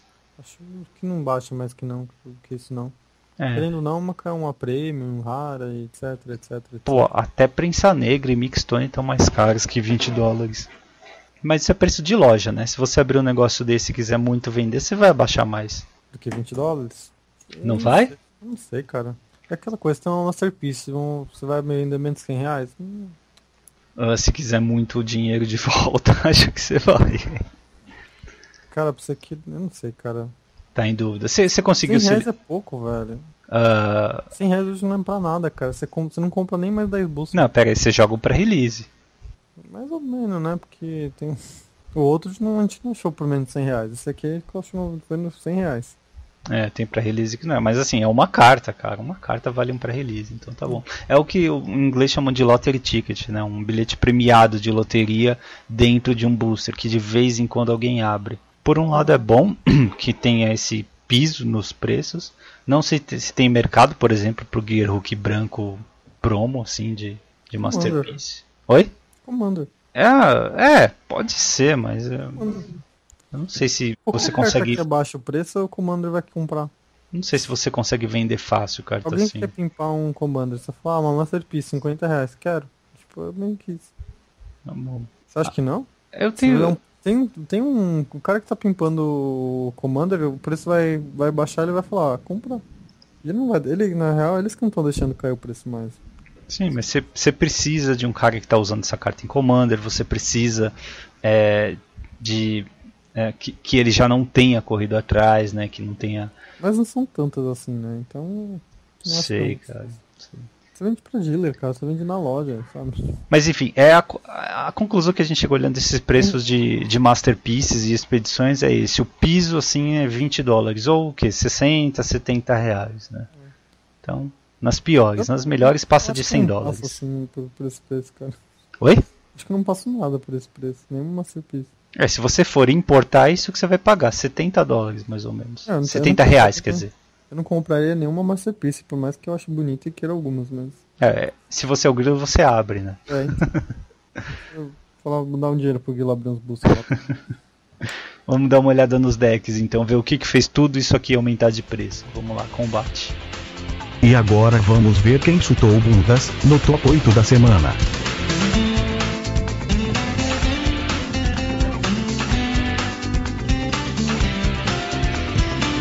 De combate. Aqui, no Rápidos Cast.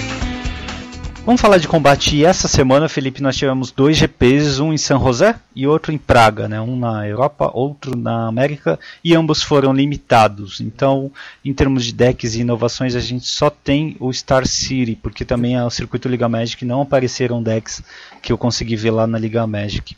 E mas num desses GPs teve uma surpresa. O que, que foi? Pegou fogo. eu, tava me referindo ao jogador brasileiro fazendo top 8, mas Eu vamos sei, lá. Você não viu isso? Isso aconteceu no mesmo lugar, né? É, aconteceu na sexta-feira. aí eles mudaram de lugar. né? No GP Praga as coisas pegaram fogo. É. Lá na praça de alimentação, certo? Isso, alguma coisa assim. Não, Mas não- ni- ninguém só- morreu, ninguém se feriu, só os sanduíches e salgados é que ficaram. Só o seguro ficou meio bravo. E nesse mesmo lugar, GP Praga, o PV, nosso Paulo Vitor Damo da Rosa, foi finalista, né, Felipe? Exato, ele ficou em segundo e draftou um Rakdos no último draft. Em homenagem, claro, pra gente. É, Ele, é, é, ele faltou um pouquinho assim pra ele finalizar os dois jogos. E segundo ele, ele tava muito cansado também, o que atrapalhou um pouquinho. Pô, mas que bom, ele fez segundo lugar no GP. Tá aí, é sempre bom ver ele. Também nesse top 8 teve Ivan Flock, que é um jogador conhecido, né? Isso. E E gente no. fez um. Oi? Os brasileiros não foram muito mal, fizeram top. A gente teve bastante assim no, no pro segundo dia. Hum, Tivemos mais dois no top 100. que bom. Acho que muito brasileiro que vai jogar o Pro Tour deve estar lá em Praga já, porque o Pro Tour vai ser em Dublin, né? Isso. Já fica Todo perto. mundo já deve estar lá, né? É. Só aproveita pra jogar competitivo ou draft competitivo, né? Em San José, Felipe, quem ganhou foi John Asbat. Deixa eu ver de onde ele é, ele parece americano. E acho que não teve nenhum jogador conhecido aqui pelos nomes. Eu Jiatin Tao, falar a verdade, eu não olhei. Richard Tan. Não, não teve muitos jogadores conhecidos. Esse vencedor ele é, de, é do Texas, ele é americano. Então. Bom, então vamos falar rapidinho do Star City Games Richmond, que teve 420 jogadores jogando tipo 2 na semana anterior ao Pro Tour de Revolta do Éter, Felipe. Então é a última semana antes daquela refinada que os pró jogadores vão fazer, né? É, Nos- o metagame deu uma mudadinha, né? Vamos dar uma olhada nesse top 8. Você, você puxou o link do meta, né? De quantos decks foram. Vamos primeiro dar uma olhada no top 8 porque ele é enganoso. Ó. Ele tem 3 decks de Jeskai Sahili, mais um deck de Não, tem Color dois- Sahili. Dois, isso. Então, ao todo, são 4 decks de combo da Sahili com o Copycat no top 8, certo? Isso, exatamente. Tá bom. Além disso, tem um Jeskai Control em quarto lugar. Aliás, os- tem três decks de Sahili no, no top 3, tá? os três primeiros. E o quarto é mais um Jeskai Control. Depois... Control, não é só healer. é, não é Sahili, mas é Jeskai. É, depois teve dois BG Delírios, completando o top 8, e por fim um BG Agro. Então, em comparação à semana passada, não vimos nada de muito novo em termos do que o deck faz, da estratégia e das cores dele, certo? Exato. Ok, vamos dar uma olhada então nesse Jeskai Control, porque acho que ele é o que mais destoa dos outros, né? É um deck que depende de 3 Gearhooks e 2 Jaces. É isso. Né? Ah, e também tem a Fumarola, que é o mainland e o R. E acaba o jogo muito rápido, na real, né? Depois que ele pegou a dianteira, ele termina o jogo muito rápido. É, assim, esse Gearhook azul está se mostrando o, o melhor de todos. Né? É, tem existindo um deck de control, ele é ótimo. O sonho ainda continua sendo fazer o que o Jabaiano fez naquele Pro Tour, que é no passe do oponente jogar um Gearhook para dar Glimmer of Genius e dar Scry 2 e comprar duas cartas e gerar duas energias para o teu Harnessed Lightning ficar mais forte. né? é uma jogada bem difícil de, de, de combater. É, eu não duvido que o, o, quem pilotou esse deck aqui tenha matado com o Jace alguma vez, porque o Jace é uma máquina de controle também e dá para milar o oponente com a ultimate dele se você conseguir controlar bem a mesa, né? Ele está equipado com coisas para isso, com Fumigate e Quarantine Field, que Quarantine Field é um Oblivion Ring para X, né? para quem não lembra o que faz. É. é. basicamente isso. Esse deck tem, ele tem que ganhar na porrada, na real, né? Ele tem que baixar o J, o Torrent Garhook ou bater com as Fumaroli. No é. fim é se, se ele segurar demais, ele vai ter que partir pro Jace. É que o Jace não acaba o jogo, né, cara? Ah, ele mata por mil, mas. Mata por mil. Mata. Não.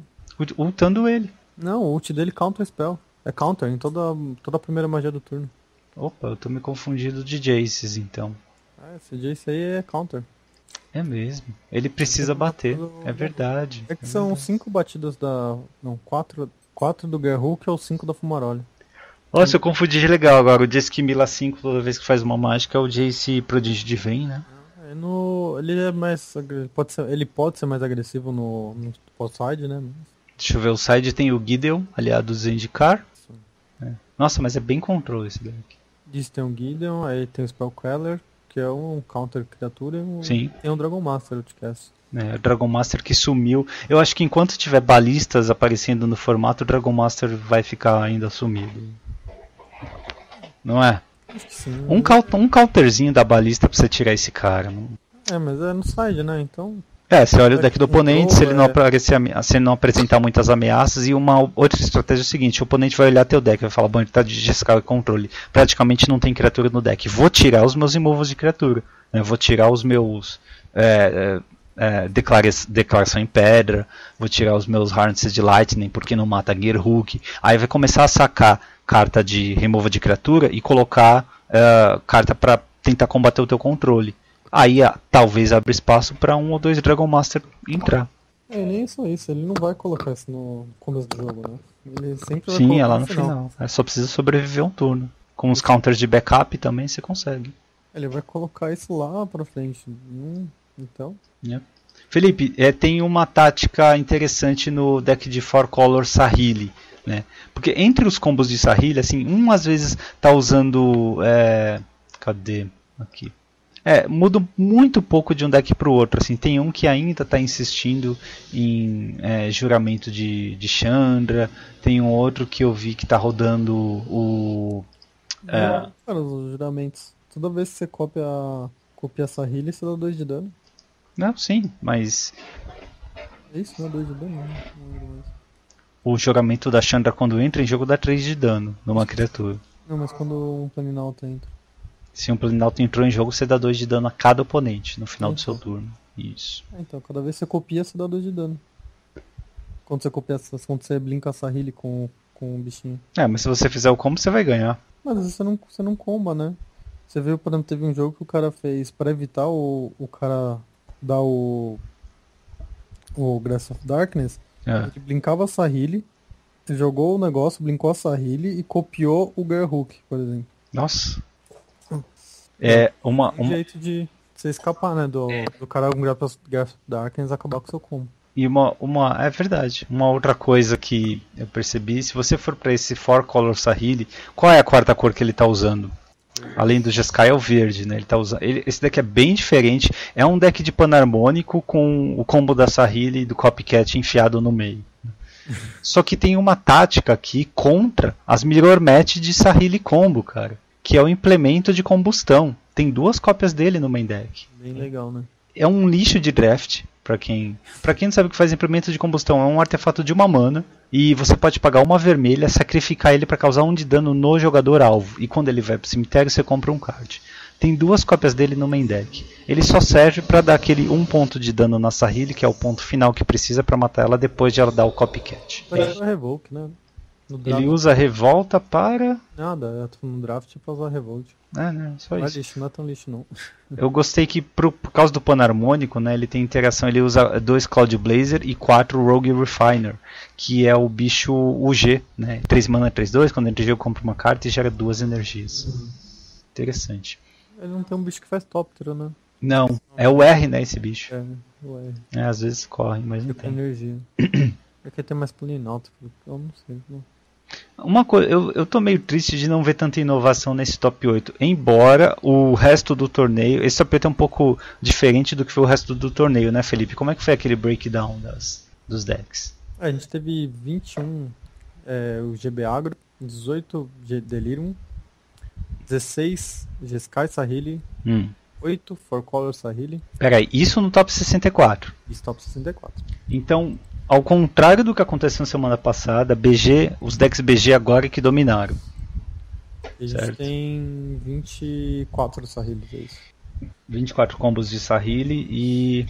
Qual, qual é a soma dos Ah, decks BG? 39, 39 BGs. Ok. Dá-lhe o Walking Balista, hein? Haja balista pra todo mundo. Mas eu acho interessante que a gente teve tem- Temores da Eldrazi, BR Vampires, é, WR Humans.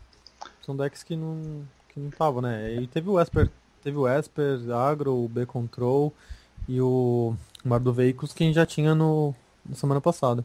É, então, eu senti falta nesse top 8 de um Mar do Veículos. E os decks de emergir também, cara, eles sumiram do meta. O que, que tá Então, aí ele acontecendo? apareceu, né? Apareceu o Temor, né? Apareceu no top 16 ou 64. Top 16. Né, então. Temor, o Temor. Teve o, o B tá usando Emergir também, O acho. B Control. O B Control tá usando alguma coisa. Bom, eu tô olhando aqui rapidinho essas listas de delírio. O Todd Anderson, que é um jogador conhecido já, ele, Top é, 8, né? ele fez top 8 com BG Delírio, né, Felipe? A diferença dos dois decks de BG Delírio que apareceram aqui é bem pequena. Um optou por usar 3 Nissa voz de desindicar, enquanto o outro decidiu carregar mais removal. Então ele está usando Ruinous Path e nenhuma Nissa. Uhum. E o BG Agro ele tá parecido com o outro que nós vimos a outra semana, né? Ele tem até uma cópia do Kalitas, e o Kalitas é uma carta que de fato ficou bem melhor depois do banimento do Reflector Mage, né, cara? Sim, é, eu deve ter alguma. Eu não entendi exatamente porque estão usando o Caritas. É. O que, que ele impede? Oi? O que, que o Caritas impede? Olha, como ele tem esses removals de, de, de custo baixo, Fatal Push, Grasp of Darkness, ele também deve ajudar nos contra os decks agro, né, cara? Pode ser. Contra humanos e tal. E eu tô vendo aqui quatro cópias, uma carta que apareceu bastante, né? Tal, eu acho que a gente ainda vai ver essa carta no Pro Tour, Felipe. É o Glint Sleeve Siphoner. O Siphoner é o que você comentou na semana passada, né? O, o seria o Bob novo. O novo efeito de Bob. O que que ele faz?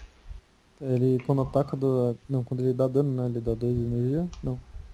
Não, ele é É quando ele entra no, no campo de batalha ou ataca é 1 de energia e no sua manutenção é. você pode pagar dois, duas energias e aí você compra uma carta e perde um de vida. Ah, se você tiver outras fontes de energia, então Você pode continuar usando sem atacar, né? ótimo. E ele tem ameaçar ainda, né? 2-1 ameaçar.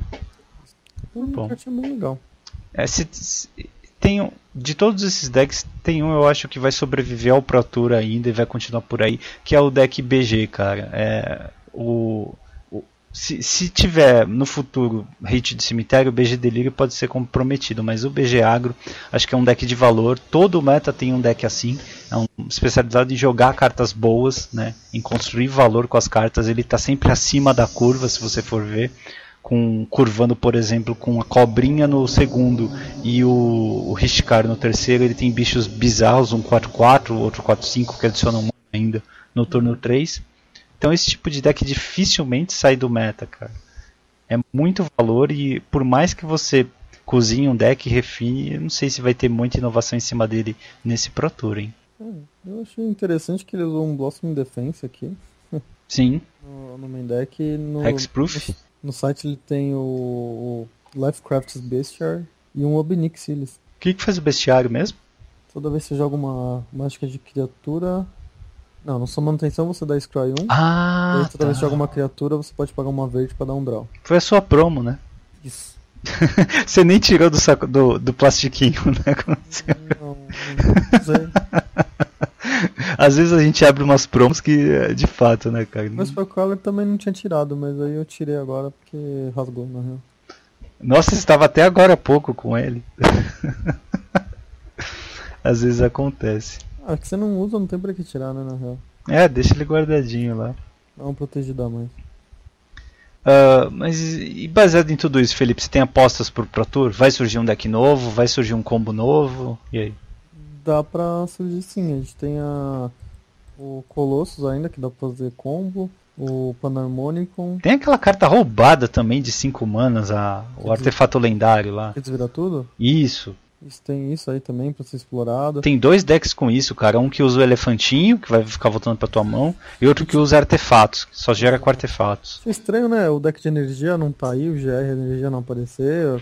Tem Então- bastante ferramenta, dá pra, dá pra Ele, aparecer. ele não apareceu aqui, né? Mas acho que na maioria dos Fridays que você for nesses dias, você vai encontrar esse deck, porque não precisa de tanta coisa da edição nova e ele é barato, né? E é um deck agro relativamente fácil de pilotar. Você tem o deck que apareceu o WR Humans aqui que dá pra fazer uns agros bem legal com a Talha, com o Metallic Mimic, o até a própria Karizev. E agora uma coisa pra gente pensar. Se Precisa O- refinar essa Sahili, né? então, se o deck da Sahili aparecer nesse Pro Tour de forma pesada, relevante, eles vão banir daqui a cinco semanas? Acho que sim. E o pessoal já tá reclamando, ah, olha só, segunda semana, diversificou o formato, temos GB Agro e contra a Sahili. não acho que é tão assim. Está no começo ainda, não, não acho que vai ser tanto. A gente vai definir o formato ainda.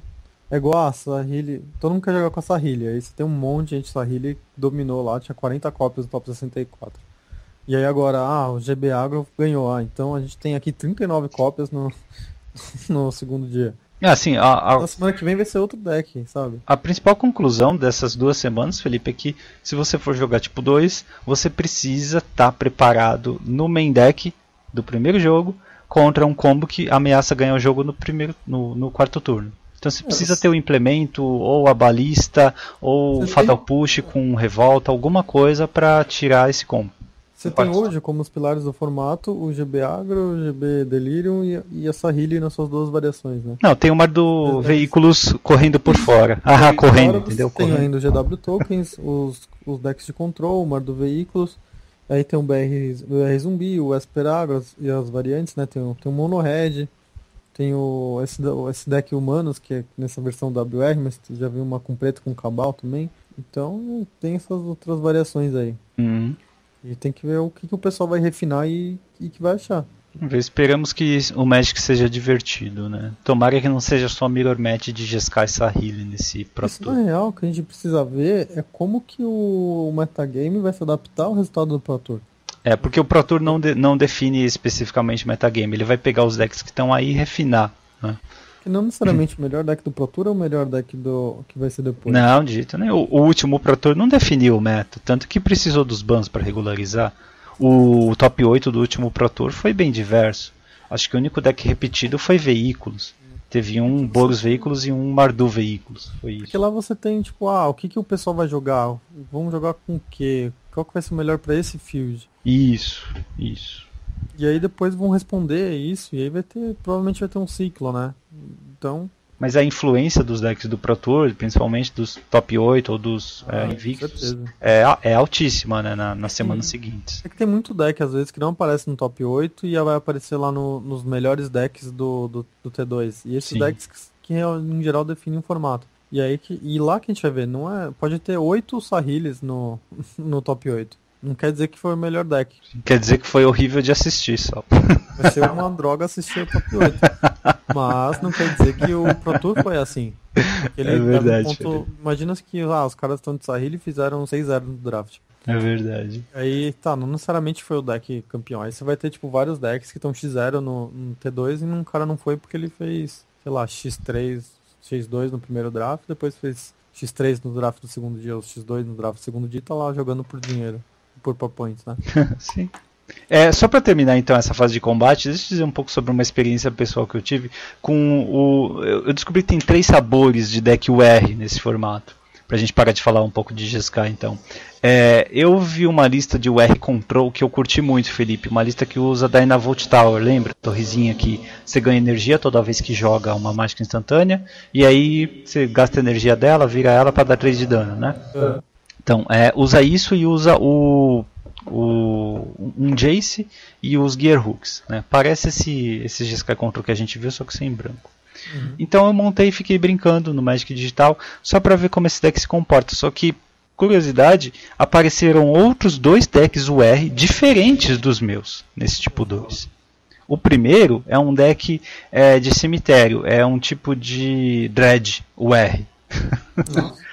Sabe esses scabs? Uhum. Eles, quando estão no cemitério, você pode pagar duas ou três manas para devolver eles pro jogo, mas você tem que também ah. descartar, né? Então, o sujeito fazia isso com. e jogava também Cathartic Reunion e outras coisas, e descartava Fire Temper, descartava Amálgama. Então era meio que um dread mesmo. Uhum. E o, o, o, o que essa partida me mostrou é o seguinte: você tem que ter uma maneira de lidar com essas criaturas do tipo Scrap Hip Scrounger, que é aquele sucateiro que você paga uma na preta e volta pro jogo, pro cemitério. Né? Uhum. E esses malditos scabs, porque o deck funcionou muito bem, cara. É uma criatura que se você não exilar, ela vai voltar. E essas criaturas às vezes têm 3 de poder ou mais. E tem evasão, como os scabs têm. É, não sei, é, são chatinhos. É partida complicada. Não, não, é o melhor deck do formato, deve ser ali tier 2, mas enfim, me, me deu trabalho. E lembrou isso do, do sucateiro, né? O, o parasita da sucata, que é, você precisa de uma maneira de para lidar com ele, uma maneira para lidar para sempre. Ou uma baita barreira em jogo, ou exilando esse artefato. Que ele está em todo lugar também. É. Acho que o que o pessoal tá usando nada, né? Não, deixa eu ver, pra exilar. Né?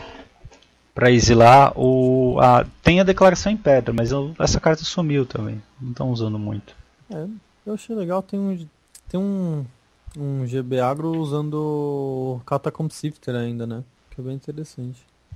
O que que ele faz mesmo? Ele dá Scry quando o moto ah, morre. Sim, sim. E ele põe um, um Sion quando entra em jogo. Sim, lembrei, é ele é verdade. Fez o Catacomb Sifter e o Recruiter. Qual o Recruiter? O, aquele que você paga duas manas e procura uma lobisomem. Três manas, olha, olha as cartas topo. Ah, é verdade. Nossa, é, essa carta durante um, um formato tipo 2 foi a melhor drop 2, né? É, junto com o no Company, né? Era muito bom, muito forte. É, era muito forte. Bom, o outro deck de UR que eu vi, o outro sabor, Felipe, era um Coisa no Gelo e Visões Febris. Era ah, isso. isso. Alguém conseguiu adaptar essa lista para o meta moderno, né? E é possível que vê sim um deck desse. É um deck controle, só que joga quatro coisa, é, visões febris e quatro coisas no, no, gelo. Tenta ganhar dessa maneira. Contra um deck de controle, essa estratégia funciona linda, cara. Visões febris é uma carta muito difícil de interagir. E o deck de controle vai fazer o quê? Não vai ficar comprando mais carta? Não dá. É, então, precisa ver, né? Então, só para o pessoal Agora ficar que você atento. falou, eu acho Oi. que o, será que o Kalitas tá para responder o Scourger? É, uma alternativa. Certo. Ele bloqueia muito bem. Tudo bem que ele é bem mais pesado, né? O dobro de mana que o, que o Parasita. Sim, mas é exila, né? Será que é por isso pra... Contra... Não, BR Vampires é muito off-meta pra, pra você botar... O Kalitas exila? Não, exila quando uma criatura do oponente vai pro cemitério, né? Ah, tá. Sim. É, vai ter que combinar o Kalitas com o Fatal Push, então... É, quando, na verdade, quando ela morre, né? Então, tipo, qualquer jeito que. Ah, tá aí, né? Fatal Push também é uma coisa para lidar com ela. Choque também lida com ela temporariamente, né? Mas não exila. Bom, o. O Clot está quase pronto. Vamos trocar uma ideia com ele? Vamos lá. Vamos lá.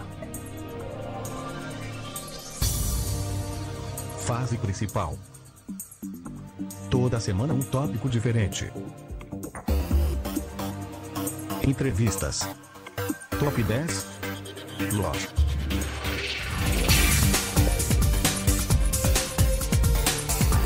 Jorge Klotz, bem-vindo ao Hack dos Cast. Muito obrigado, galera. Obrigado pelo convite. Esse Jorge aí veio da onde? Nem eu sabia. É Jorge mesmo? pra quem não conhece, o Jorge é o Uncle K, né? Ô, ô, Klotz, por que Uncle K? Putz, boa pergunta, cara. É um nomezinho zoado esse que eu escolhi pro canal, né? É porque Uncle é, é tio em inglês. Aham. Uhum. E todo mundo me. Tem um, todo mundo tem um grupo de amigos que a gente jogava bastante junto. E falavam que eu era o tiozão do, do Magic, que eu era mais velho, jogava mais tempo, então eu era o tiozão, tiozão, tiozão Clots, tio Clots, Uncle K. Tudo bem. Nós, não, não, nós estamos no, no esforço de tentar, né, aos poucos trazer todos os youtubers que a gente, com, a, com, que a gente vê uh, aqui no, no Hack dos Cast para falar um pouco dos canais, para é, ver um pouquinho da experiência de cada um, não só com produção de conteúdo, mas com competitivo, né? E dentre esses, eu acho que você é um dos que mais pode contribuir na parte do competitivo, porque você joga com frequência, né? Você está nos torneios, eu vi seu nome em diversas listas, já falamos inclusive seu nome aqui, Clodes, em resultado de circuito Liga Magic, né? Sim, sim, é, assim, eu, eu meu negócio com Magic é, é jogar. Eu gosto muito de jogar, eu gosto muito da estratégia. A minha paixão pelo Magic é a parte intelectual do Magic, né? Eu acho um jogo muito inteligente, muito desafiador, assim. E eu sou zero apegado, assim. Então a parte de coleção, para mim, eu, é. eu, não consigo colecionar card. Então, o, o, que eu tenho de card aqui em casa são as cards que eu jogo. Entendi. Se, se, eu não jogo, eu dou, eu vendo, eu. Então, o Magic tem várias facetas, né? Tem a parte de coleção, tem a parte de, de arte, tem a parte da, do lore, são histórias. Vira e mexe, o pessoal pede, inclusive no canal, eu escuto assim, toda semana alguém me pede para eu fazer lore, que é, que contar a história ah, do sim. Uhum. E a verdade verdadeira é que eu não sei a história do médico, gente. Eu não sei o lore.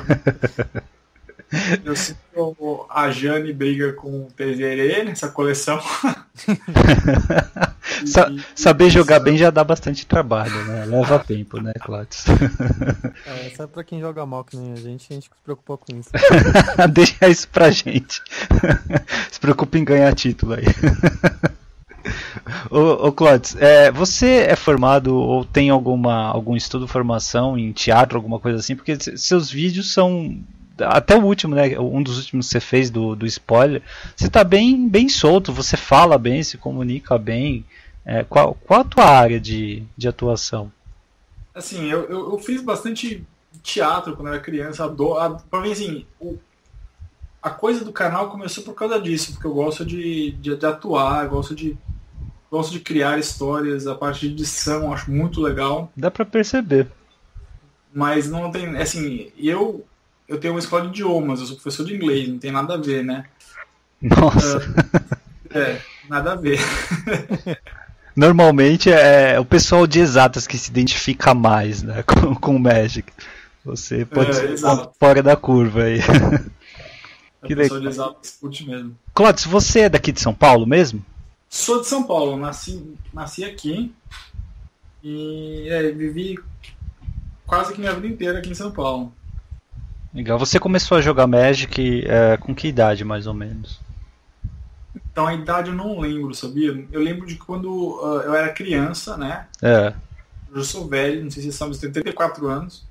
Ou tá, tá, tá muito velho, ele tá terceira idade já, quase. É. Imagina, cara. É que assim. Se a nossa geração vai passar dos 100 fácil, você nem chegou nem na metade. Será que passa dos 100, cara? Passa. Ixi. Ah, se, se continuar reformando a Previdência, você não vai ter opção. É, é, aí você deu um fato importante. Se né? quiser aposentar, vai ter que passar. Mas você lembra a edição que você jogava, que, que tinha Esse, lançado? O Magic chegou ao Brasil em 94, é. com a é. parte de... É. Não sei se vocês, se vocês jogavam. Sim, peguei. Eu comecei ali, entre a quarta e a quinta, isso. Peguei Terras Natais. quarta edição. Essa, então, essa época aí. É, então, é, eu, eu peguei Terras Natais, Ice Age, uh, comprei, cheguei, cheguei até. Ele me deu criança comprando um booster de, de The Dark, que só tinha italiano, porque não tinha Magic no Brasil ainda. Ah, então ah, mais ou menos a mesma época todo mundo é, aqui, né? Mesma época mesma época. E aí o Magic chegou na quarta edição, a gente tinha uma, tinha uma caixinha, né, que era tipo o intro pack, assim, vai. É uma caixinha com 60 cards aleatórios, como se fosse um booster de 60 cards. Isso. Tinha os boosters normais, né? Isso. A primeira tiragem foi em, em borda preta. É... E, e, depois, depois começaram a vir a, a, segunda tiragem foi em borda branca. Então, toda vez que o Magic chegou em um país, ele chegou primeiro com borda preta e depois ele foi para borda branca. É, eu lembro as cartas de, de Legends em italiano são borda preta, né? Isso, isso. O Legends italiano é, é. Eu acho que, se eu não me engano, Legends em todos os. Não, não sei se é todos os. Acho que Legends é sempre borda preta, não, não, não sei. Eu acho que é, são Só as básicas que são, ficam com borda branca, o resto era borda preta sempre, em expansão. Ah, é mesmo, é mesmo. É, e, e tanto é que eu tenho um apego a essa época que hoje, se for ver meus decks, te- terreno básico é sempre de borda preta de quarta edição. Era são os terrenos de quando eu era moleque. E, e se tem um outro card que, que teve na quarta edição, como Raio, por exemplo, É. eu uso de quarta edição de preferência de borda preta. É. Raio ainda, ainda faltam alguns, eu não tenho todos os raios de borda preta. Mas eu tô indo atrás. Cara, eu fiquei muito feliz quando. Eu uso muito o site magiccards.info. Você conhece?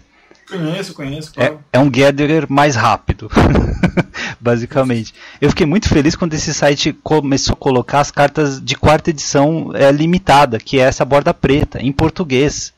Porque Ah, não vi isso, cara. eles fizeram, você tem toda a edição lá em português e em borda preta. Porque aí te permite colocar, pegar, por exemplo, raio, eh, dragão de Shiva, sei lá, as cartas que você mais usa e colocar eh, na pasta do, por- do- de qualquer programa que você usa, ou qualquer lista, ou qualquer artigo que você vai fazer, né? E tá tudo em alta resolução, perfeito. Legal. É, animal, gostei da ideia. Eu vou, eu vou- lá ver, porque eu não posso falar que eu, que eu faço proxy pra testar os cards, porque senão a Wizards vem puxar minha orelha depois. Mas, é, Mas não existe proxy, né. Fox? não, não existe proxy, é playtest cards. Playtest, cara, exatamente. Você escreve num papel e coloca no shield, claro. Exa- exatamente, exatamente isso que eu faço. Ô, Claudio, você parou de jogar alguma vez? Parei, parei algumas vezes. É. Eu parei, ah, antes de sair a quinta, quinta edição, eu parei.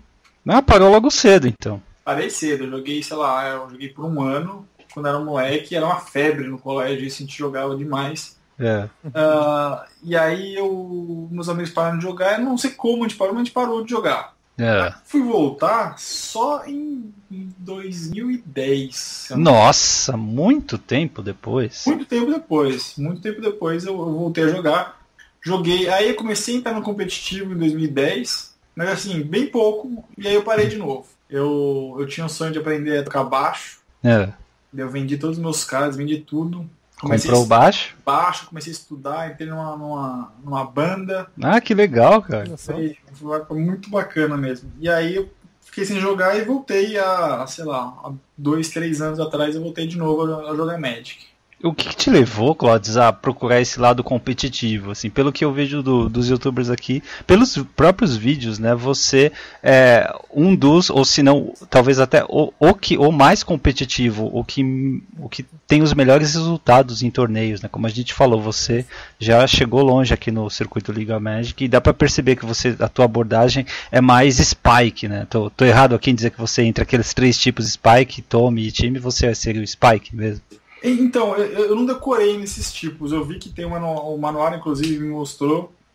é, passou o link do- do- dos nomes, mas eu sou, eu sou ruim disso. O Spike, ele, ele é como? Ele competitivo. Ele está interessado em vencer as partidas.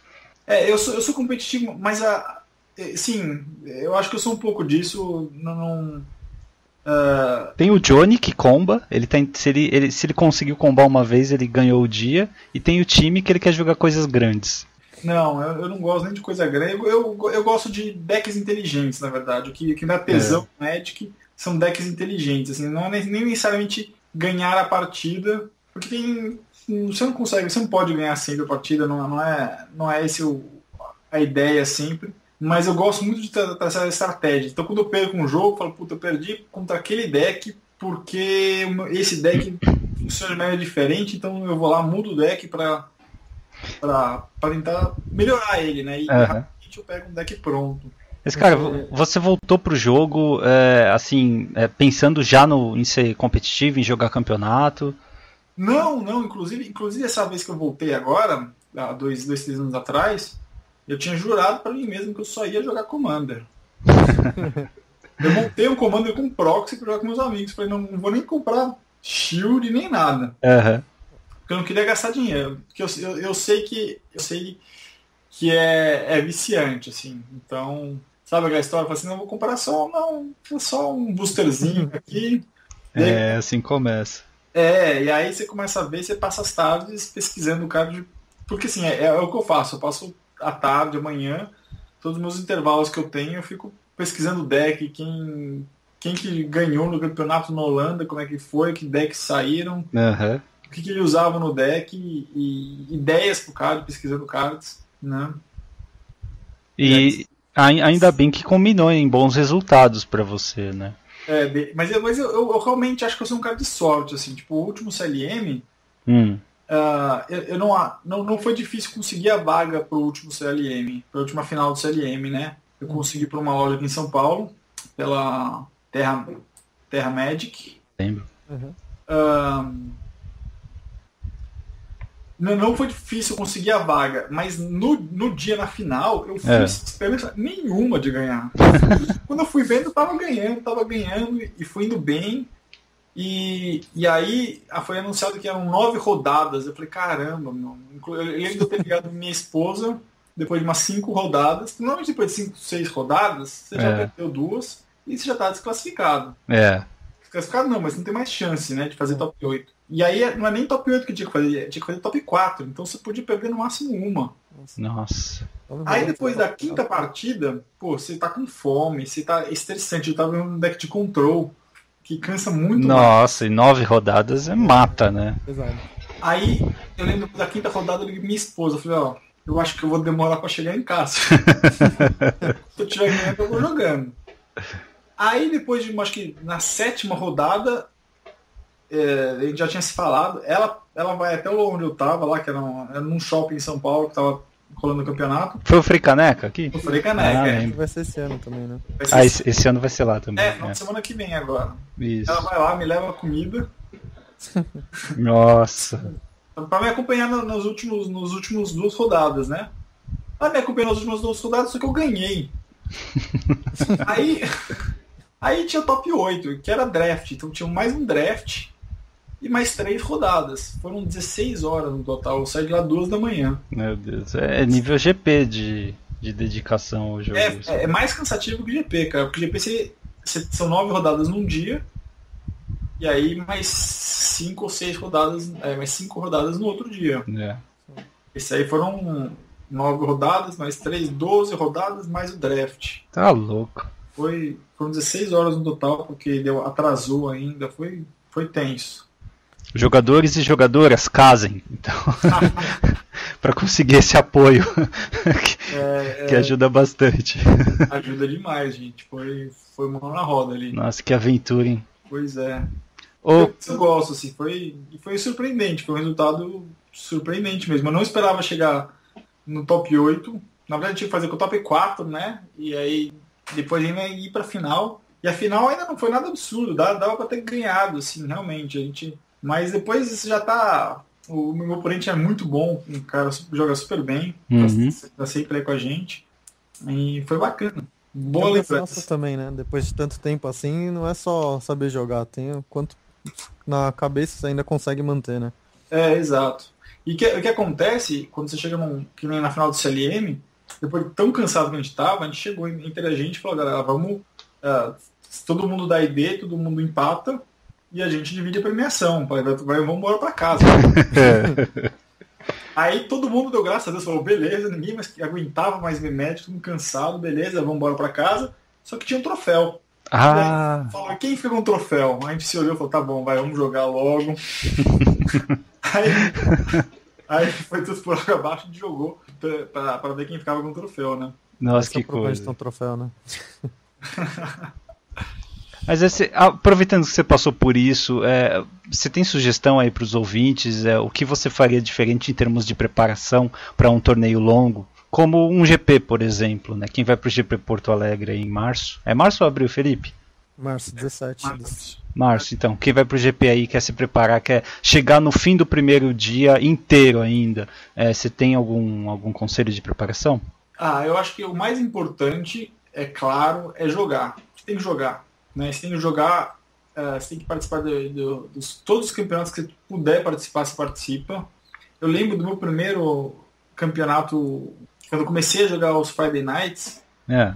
eu lembro do primeiro que eu ganhei, eu tremia, gente. Friday Night, eu tremia de, de tensão, assim, sabe? Uhum. E, e aí eu não tinha nem costume de, de anotar, eu ia marcando tudo no, no dado, no dadinho ali, as, as vidas.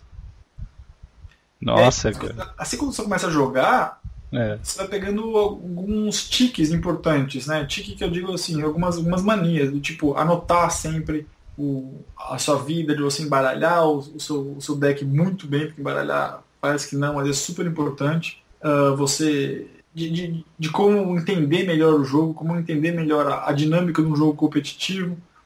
Te deixar mais tranquilo, né? Imagina, depois de um tempo você. Se você treme num jogo de, de na, na sua loja, né, na sua, no Friday Night, Imagina no top 8 de um GP, né? a gente não tava preto no GP. É, É, você vai pegando uns tiques que vão economizando assim seu, sua cabeça na, na hora, né? É. Tem coisas, e tem coisas assim, ah, detalhes importantes de, de, de uma competição, principalmente uma competição grande, é o, o tipo de deck que você joga, né? Se você, se você vai de control, esteja muito preparado, preparado com, com comida, com água. Se- ah, bom conselho. É, porque se você vai, se você vai, sei lá, você vai de um, um, um burn, por exemplo, do Modern, né? Não sei se vocês estão familiarizados com o Modern, se os ouvintes são familiarizados com o Modern, mas o burn é um deck muito rápido. Sim. Dá O- tempo de almoçar. Um Affinity, você joga, acabou, acabou, você levanta e vai comer. Você tem É. intervalo aí, você vai ter pelo menos 20 minutos, 25 minutos entre cada partida. A maioria das rodadas vai ter um tempinho de descanso. o, o, o o control, não só você vai ter que pensar muito, e você vai ter que jogar muito rápido para não empatar. Empate é terrível. né? Então tem que estar sempre alimentado e hidratado, né? Nem que se- isso signifique levar algo na mochila contigo. Às vezes a tua partida vai pro tempo, não dá tempo de ir até a praça de alimentação, comer alguma coisa com calma, então tem que ter algo de backup ali na mochila. É, e lembre-se sempre que você tem uma, uma área de alimentação na região. Ah, quanto mais perto tiver de começar a nova partida, mais cheia vai estar a praça de alimentação. É- é verdade. Na do jogo, vai, todo mundo vai ter a mesma ideia brilhante que você tinha na praça de alimentação. Bem lembrado, claro. É assim mesmo. É, senão às vezes você não tem opção, né? É, exato. Na, na maioria das vezes você não tem opção, na verdade. É, você tem que estar preparado sempre, né? Com a mala, alguma coisa. É. Ô, Clotis, deixa eu te perguntar, como é que então tudo isso evoluiu pro, pro canal no YouTube e a produção, produção de conteúdo? Assim, você começou como um teste, ah, deixa eu. Eu gosto de editar, vou editar, ver o que, que acontece. Ou já foi com o objetivo de produzir conteúdo semanalmente, com regularidade, e fazer os tutoriais, fazer gameplay e construir uma, uma comunidade ali? Nossa, a, a, a primeiro vídeo, porque assim, regularidade é foda. É a parte foda do canal. É. Realmente parece que não, mas editar dá, dá um super trabalho, assim. Você fazer um bom vídeo dá muito trabalho. Um podcast já não é fácil, imagina com vídeo. Nossa, é mais difícil. é, é tenso, é bem tenso. Tem. Se você, se você for só um vlog, você sentar na frente da cadeira e, e falar, é mais fácil que você só vai fazendo os cortes. Se você quiser uma coisa mais elaborada, Uhum. dá trabalho. E começou porque eu tinha.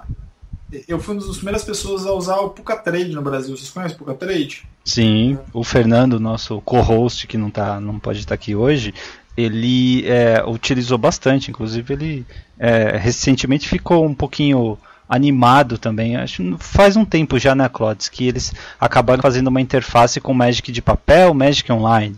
Isso, exatamente. Eu, eu era um dos representantes, assim, de, do, do Puka, né? Representante, assim, né? não oficialmente pela empresa do Puka, Hum. mas eu era um dos administradores da página deles. Eu tinha Pô, que legal, cara. É, eu fui um Tem- dos primeiros do, do- da, da página do, do Facebook, Que né? legal. E tem, tem alguns vídeos sobre Puka Trade, tutoriais do Puka no, no teu canal, né? Então, e aí o meu primeiro vídeo foi um tutorial. A galera me perguntava como fazer. Eu falei, ah, eu vou fazer um videozinho aqui explicando pra galera o que, que é o Puka Trade, como usar. É. Fiz o vídeo ah, e por causa desse vídeo eu me empolguei. Aí, aí foi indo. Aí eu fiz um vídeo, eu comecei a fazer, querer fazer sobre mais coisas, mais informações sobre o Magic. E aí eu fiz um, um report de um campeonato em que a Liga das Garotas Mágicas estava lá. Ah, legal. A gente conhece o trabalho delas também, muito legal. É, muito bacana. E aí eu fiz, eu fiz um vídeo sobre a Liga das Garotas, sobre mulheres no Magic, a diversidade no Magic, né? E através desse vídeo eu conheci os outros, outros youtubers entrar em contato comigo. É. Uh, muita gente entrou enquanto foi um vídeo polêmico, né? E, e, aí um monte de gente veio falar comigo e, e, o canal foi meio que um marco, assim, daí pra frente o canal começou a crescer bastante. E por muito tempo ele cresceu muito rápido. Cresceu muito rápido mesmo. Nossa, que bom. Que bom, cara. É. O, é, o, o, o, a comunidade brasileira é interessada, né? O povo se, se ajuda, as pessoas se mobilizam para produzir conteúdo. Acho que eles querem conteúdo, né? É, você tem uma falou em diversidade, tem uma diversidade bem grande de temas no seu canal, né? É, tem tutoriais do Puka Trade sobre como jogar, tem é, um vídeo sobre Modern versus tipo 2, tem até de sacola, né? Que você mostrou. Tem, tem, tem, tem. Assim, eu, o, que, o que eu penso de fazer um vídeo qualquer, eu falo assim, é. que é interessante para o médico, vou fazer. Legal. Então, tipo, não é. Eu não segui nenhum tema de fazer, ah, só vou fazer gameplays, eu só vou fazer modern. É, eu acabo fazendo mais de modern do que os outros formatos porque é o que eu entendo, eu entendo de, de modern. uhum. Depois agora eu tô um pouquinho por fora porque eu tava me, eu tava me preparando para esse campeonato agora no final de semana que vem. E alguns outros, né? Eu joguei o RPTQ, o PPTQ. Ah, sim. Uh, e, e, aí eu tava me preparando mais, então acabei focando mais no modern, eu esqueci um pouco do T2. É, o, uma coisa que você responde num dos vídeos, eu gostei bastante, eu, é difícil de ver por aí, é pergunta que muita gente que está começando faz, né? O que é um DCI? Boa, boa. e você, você fez um vídeo inteiro para responder isso, explicando como é. Porque muitas vezes, né? Às, vezes a pessoa quer, até quer ir na loja perguntar se tem Magic. O meu irmão passou por isso, né? Foi numa loja com os amigos dele, ele está no Paraná. E aí fizeram eles preencherem e criarem um DCI na loja. para depois ganhar aqueles. Uh, decks introdutórios, né? Uhum. Mas ele não sabe o que é um DCI. Ele tem um, mas não sabe para que serve. É, não, todo, todos nós passamos por isso. Sempre, um momento ou outro, a gente teve que fazer um DCI sem fazer ideia do que era. e é isso, é tipo, é tipo o que eu tento fazer com tudo que vai ajudar a galera, né? Legal, legal. Eu, eu, eu, eu gostei desse, desse tipo de, de abordagem. Ô, Cláudio, uma coisa, a sua opinião sobre o Magic no Brasil em geral, a comunidade, o apoio, o número de GPs que a gente tem, né? Você recentemente também teve o, o, o spoiler exclusivo do seu canal, então é, como é que você, como é que é essa relação que você acha? Você acha que tem espaço para crescer aqui? É, tá muito caro, muito barato, o Magic Online? Fala aí um pouquinho pra gente. Uh, a gente. A gente não pode se enganar o, o, o, Magic é um jogo de elite, infelizmente, né? Eu tentei fazer algumas coisas para deixar o Magic mais, assim, uh, mais popular, assim, fiz campanhas, uh, fui em, em, inclusive em orfanato levar Magic. Teve um campeonato beneficente que você Isso, eu fiz um realizou também. E aí a gente foi, eu peguei os produtos, né? A entrada, o ingresso para o campeonato era, era uma doação de produtos de higiene para um orfanato. Eu fui no orfanato, levei cards, levei decks pra galera. Você fez o vídeo depois com todos os produtos atrás, né? É isso, exatamente. Ó, você está assistindo mais, mais do que eu no canal. Olha, na verdade, esse campeonato nós divulgamos. Infelizmente, a gente ficou caiu no nosso radar aqui é, quando estava muito perto. Então, não sei se deu tempo de todo mundo ouvir e jogar, né? Mas é, a gente ajudou a divulgar aqui também. E é uma ideia sensacional, cara. Assim, se mais gente fizesse isso, quem sabe até o próprio jogo é, acabasse sendo mais divulgado e passasse a ser um jogo de jovens, né? não só de elite, mas de qualquer um que tem interesse. É, então, assim, eu acho que o Magic ele tem, ele é um jogo incrível, ele é um jogo realmente muito inteligente, um jogo muito complexo. É, ele tem umas barreiras grandes, eu acho, para enfrentar se ele, se ele quiser crescer mais, se tornar mais popular, principalmente aqui no Brasil. Mas você vê que a Wizards está investindo no Brasil. Não sei se você sabe, mas a Wizards antes no Brasil era uma pessoa só. Isso até pouquíssimo tempo atrás, acho que até um ano atrás. Uh, talvez eu esteja falando besteira, mas é, se eu não me engano, mais ou menos um ano atrás a Magic era só uma pessoa. E hoje você já vê um time, você já vê é, tem diversos setores já Wizards aqui no Brasil. Sim, na interface com a comunidade tem a Carol, no, que ela tá no canal oficial do YouTube, no Facebook, no Twitter oficial também. Né? Isso. A Carol é responsável pela ela é gerente de comunidade, então ela, ela lida com tudo que, que, que afeta o público final. Né? Tem, e tem, tem mais conteúdo em portu, oficial, né? Em português, inclusive. Exato, Mesmo que exato. o produto original, como um Conspiracy da vida, vem em inglês, tem essa passagem pra gente. A gente tem um contato, um vídeo explicando em português no canal oficial do que, que as cartas fazem, ou que, que as habilidades fazem. O que é importante para quem está começando, para ampliar o número de pessoas que, que entram no jogo, né? É, e eu vejo assim, muita gente, muitas lojas se profissionalizando, né? Se, se, se profissionalizando, que eu digo, é menos amador, menos. Ah, isso é bom. E, é. Uh, a gente tem GPs, eu não, não, sei antigamente quantos GPs a gente tinha, porque eu, como eu falei, fiquei um tempo parado, mas agora a gente tem, temos spoilers oficiais, tem o circuito Liga Magic que eu acho sensacional, assim, é, é de longe o meu campeonato favorito. que legal. Porque não só pela final, a final é muito, muito divertida, claro, mas o circuito ele é aquela coisa que você joga toda semana, uh, na, na sua loja, você vai acompanhando o ranking, o top 8, ele é, é, um top 8 completamente diferente de outros campeonatos, então é, é interessante. A gente, o Brasil tem bastante, bastante ferramenta. É, nós lemos aqui é, quando dá né, é, listas do circuito Liga Magic e é, a gente vê que tem loja espalhada pelo país inteiro. Pelo país inteiro. Claro que tem é, uma, uma, maior concentração aqui no Sudeste. Né? A gente fala de loja do interior de São Paulo, de Minas, do, do Rio de Janeiro, mas de uma outra loja faz também no Nordeste, no Centro-Oeste. Né? É, tem, e o pessoal vem, né, jogar, né? E o pessoal vem de lá, vem, isso, vem, vem de lá jogar também. Muito bacana que tenha não algo é, que pode ser o Star City Tour né, brasileiro, né? que a gente possa se dedicar semana a semana, mês a mês a, a conseguir pontos e ir para um campeonato melhor e disputar um prêmio ainda maior. Isso é muito Quem bacana. Sabe, né? No futuro aí tem um Opens e tal, com uma estrutura maior, né? Claro. É, não, e, e, circuito Legacy. E cada campeonato, parece que não, mas cada campeonato que tem ele tem uma característica muito única, assim, né? Por exemplo, você vai jogar num um, um GP. O GP, ele é pra, ele, ele é para todo mundo. Você não precisa se classificar, você simplesmente chega com o seu deck, paga a entrada, né? Que tem, ele tem um valor para você participar, que normalmente é um valor alto, mas ele é. E, e vale a pena que você, ganha, você sempre ganha coisas. Uhum. Enfim, você começa, você sabe nas primeiras duas rodadas no GP, a gente chama daqui a, é, é a selva é, a selva. Tudo, né? Tem de tudo. Você vai ver aquele cara que inventou um deck diferente, fez uma coisa. É, é bem, bem bacana. E como você vai ganhando, você, o, o, o, o, meta já vai mudando. É. Vão ficando decks mais, mais tier, né? Os decks mais. que já conhecidos da galera. Isso. Uh, aí se depois você, por exemplo, eu joguei um, um, ganhei o PPTQ e fui, fui, fui, jogar o RPTQ. O RPTQ, pra quem não sabe, é o classificatório para o Pro Tour. São algumas pessoas do, do Brasil que ganharam os PPTQs e vão jogar para poder participar do Pro Tour. Isso. Aí você já vai preparado para um outro tipo de, de meta. São só decks super, super competitivos. Pessoas, jogadores de altíssimo nível que estão lá, que você sabe que você vai para tomar um cacete. Eu, vou, eu já vou parado.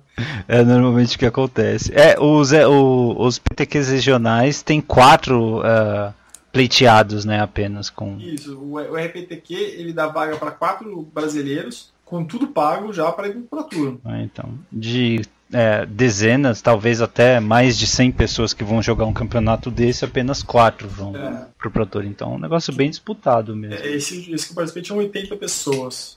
Olha só, muita gente. Oh, é, é gratuito, né? Tem que... é, é, é, porque você, na verdade, você já classificou pro PPTQ, né? Então, então você já não precisa pagar nada para participar. Agora a gente tá falando do CLM, que tá falando do, do, do meta, ah, sim. do tipo de campeonato. O que é mais bacana dele é porque assim, primeiro que você tá na sua loja, tem aquela coisa, você nunca sabe quem vai, quem não vai, mas você já conhece o deck do pessoal. Agora quando chega, chega no top 8, você já sabe, a semana que vem, já top 8, já sabe quem é seu primeiro oponente, quem é o segundo, seu, quem vai ser o seu segundo e terceiro oponente caso você ganhe. então você já tem que pensar que deck que você acha que ele vai jogar, que deck que você pode jogar contra ele e o que. Sabe, tem toda essa, essa especulação, a gente se liga, a gente liga um pro outro e aí, não. É um subjogo, né, Cláudio? É, é, é, um jogo. é um jogo tático total. completamente diferente dos outros.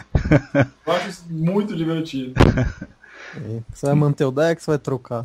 É, exato. A gente sabe, tipo, se o cara é seu amigo, não, a gente joga, a gente é já é com os nossos amigos, a gente já conhece as pessoas. A gente já sabe o o pool de card que ele tem, Ah, o que, que ele tem acesso? é, o que ele tem acesso, e, e mais de uma vez eu já vi nego pegar deck emprestado com um amigo. Falando, pra, pra enganar. é total. Pra enganar o meta. Tudo bem, mas o incentivo pega aí. o emprestado joga com outro, né? Só pra dar uma fofoca. É, é nunca uma boa, boa ideia, não tinha pensado nisso. Sub-sub-jogo. Isso, isso é o jogo. É, mais uma, uma, uma coisa pra quem quiser jogar o circuito Liga Magic, né? É divertido também por isso. E tem grandes prêmios no final, né, Clotus? Tem, tem grandes prêmios. Tem grandes prêmios, é interessante. Bom, é, Clotus, você... meu- eu- nesse exato momento estou montando meu deck aqui na, na- tá aberto aqui na minha frente. É, Deck que, eu, que um dos possíveis decks de eu, tô- eu tô numa insegurança. Dá uma opinião aí. O que você acha que eu devo jogar no, no- nesse final de semana, hein? é Modern ou ou T2? Para moda. O Felipe manja de Modern. Felipe, Putz, qual é a sua avaliação do meta aí? O que você tá achando? cara, tá estranho. O, o ouvi- o ouvinte que Porque escutou eu- esse programa até aqui já sabe que Dread tá um estranho pouquinho. porque, é, porque o pessoal, né, não. O Dread caiu. O e Dread caiu né? bastante. é. Parou de vir com deck, como chama, com rate de cemitério. Então, mas isso, isso é um, um grande engano pra mim. É um grande engano. Porque tá todo mundo falando, o Dredd caiu. O Dredd não mudou quase nada, gente. Quase nada. Ele, ele, ele tá. Foi um card que foi banido. Então, na verdade, você vai trocar, né? Um card que era é, Dread 6 e podia ser jogado, fazia alguma presença de mesa, por um card que é Dread 4. E, isso, exatamente. E de 6 para 4 já altera, não, não, não vai, vai alejar o deck, mas não vai tirar ele do meta completamente. pelo menos, altera a variância. O pessoal para de jogar. Aí os outros param de usar rate de cemitério. O que que aparece? O Dread de novo. E agora os Vengeance Dread. E- Eu acho, eu acho que o, que o Dredd. Quem aparecer com Dredd na, no circuito Liga Magic eu, vai se dar bem. Eu joguei contra o Dredd de novo duas vezes depois que ele foi banido já. A diferença é muito pouco, porque o Dredd, e- ele era um deck muito roubado. Né? Ele é um deck muito forte, realmente. Olha, ele ainda é o que a gente falou no começo, aqui na, na nossa fase de combate. Não, foi lá na, na primeira fase. Que é um deck que no primeiro, no primeiro jogo, Clods, ele tem uns começos explosivos. É difícil vencer ele no primeiro jogo. Difícil, é um deck muito forte. Que deck, que deck Tier 1 vence o Dread no, no primeiro jogo? Mesmo esse Dread aleijado que a gente tá vendo. O, o Tron precisa abrir logo um. É, um Ugin. Ou o Urmikoi. O Urmikoi é a resposta que o Tron Não, tem é que ter. O Ataca-Red o Ataca-Red não consegue. Se precisar atacar, não consegue. Essa, essa match é muito horrível. O, o, É. O Infect tem problemas, né? Mesmo voando, o Infect tem, tem problemas. Vai precisar atropelar de algum jeito. E mesmo assim você tem Conflagrate, tem a Dark Blast. Então com- é, é complicado. Talvez, não sei, o, o Boggles talvez tenha chance se vier com Lifelink. É, mas quem, quem que joga de Boggles? Não, não, não- não- Eu acho o Boggles um deck muito bacana, mas é, é, é esse, esse que é a grande força do Dread. Ninguém, ninguém joga de Boggles muito, sabe? Então. O- é, é, é um deck muito, muito explosivo. E aí o pessoal fala do, no late game, você tem o, o, o Golgari Troll que foi banido. é. Vocês, vocês pelo visto jogam de Dread, é isso? Eu joguei de Dread, de Dread recentemente exatamente para investigar a, por que, que ele estava sumindo do meta, né? E eu, to, eu tomei uns coros nos jogos 2 e 3, mas no jogo 1 eu não perdi, deixa eu ver. Eu Ele perdi jogo. jogar por medo, cara. O pessoal baniram a carta, vou parar de jogar com ele. É, exato, é um deck muito forte. E, e, e o Google Choke, o pessoal fala que, que no late game no- você podia castar ele. Quantos jogos o, o, o, o, o? Foi isso que a gente falou aqui quando foi Fala, banido, gente, né? Ele mata, ele, ou ele mata muito rápido ou ele perde. É qual- qual- Na real, o, o forte dele é o Dread 6, né? Essa é a parte roubada É. do, do card. É, durante 6 de Dread 6 para 4, muda. Mas não muda tanto assim. né? Ele, ele, ele continua um deck muito forte. É porque nesse deck com a Cathartic Reunion você não vai usar o Dread 6 uma vez só. Né? É, no é decorrer da menos partida. de você tirar seu, as cartas que você precisa, Isso, né? mas no decorrer da partida você vai dar dread seis, duas ou três vezes até você construir tua mesa. Então essa diferença de duas cartas que você vai tombar, na verdade é uma diferença de seis ou de oito, dependendo de quantas vezes você vai conseguir canalizar cada dread, né? Uhum, verdade. E aí você não acha, por exemplo, você não acha o seu segundo dread que você precisava pra pegar com Catarte, por exemplo. É, é. Mas, ô, ô Cláudio, é, ainda na sua pergunta do, do que levar, se você olhar as listas do Magic Online, dos decks que fizeram 5-1 nos últimos dias, o que que tá sempre lá é O Tron. Oi, Tron tá sempre lá, Atarca Tá. Red tá sempre lá, ou um Mono Red, tá? Infect tá quase sempre lá, Jund tem sempre um Jund lá também, que é os Tier 1 que a gente conhece, né? Uhum. De vez em quando tem um deck tipo é, o Tyrios correndo por fora. aí. A boa, a boa é o Ah, mas Affinity. o Tyr- o Tyrius só apareceu uma vez agora, né? Eu tenho, eu tenho esses decks, eu tenho o Tyrius, eu, eu tinha ele montado antes de sair o, o Shan, né? O Sun que, é- que, é- Ah, é. que viabilizou o deck. É, o, o, os decks que mais está saindo, pelo que eu vejo, são as variantes de Eldrazi, Bunt Eldrazi principalmente. É, esses decks de Eldrazi sempre também estão nos top 8, mas Você vê aonde? Você vê no, no MTG Top 8? não, no, no próprio site da Wizards eles postam as listas que fizeram 5-0 na liga construída, Ah, tá. de todos os formatos. O link para quem que- pro ouvinte que também quiser ver vai estar no, na descrição desse episódio aqui.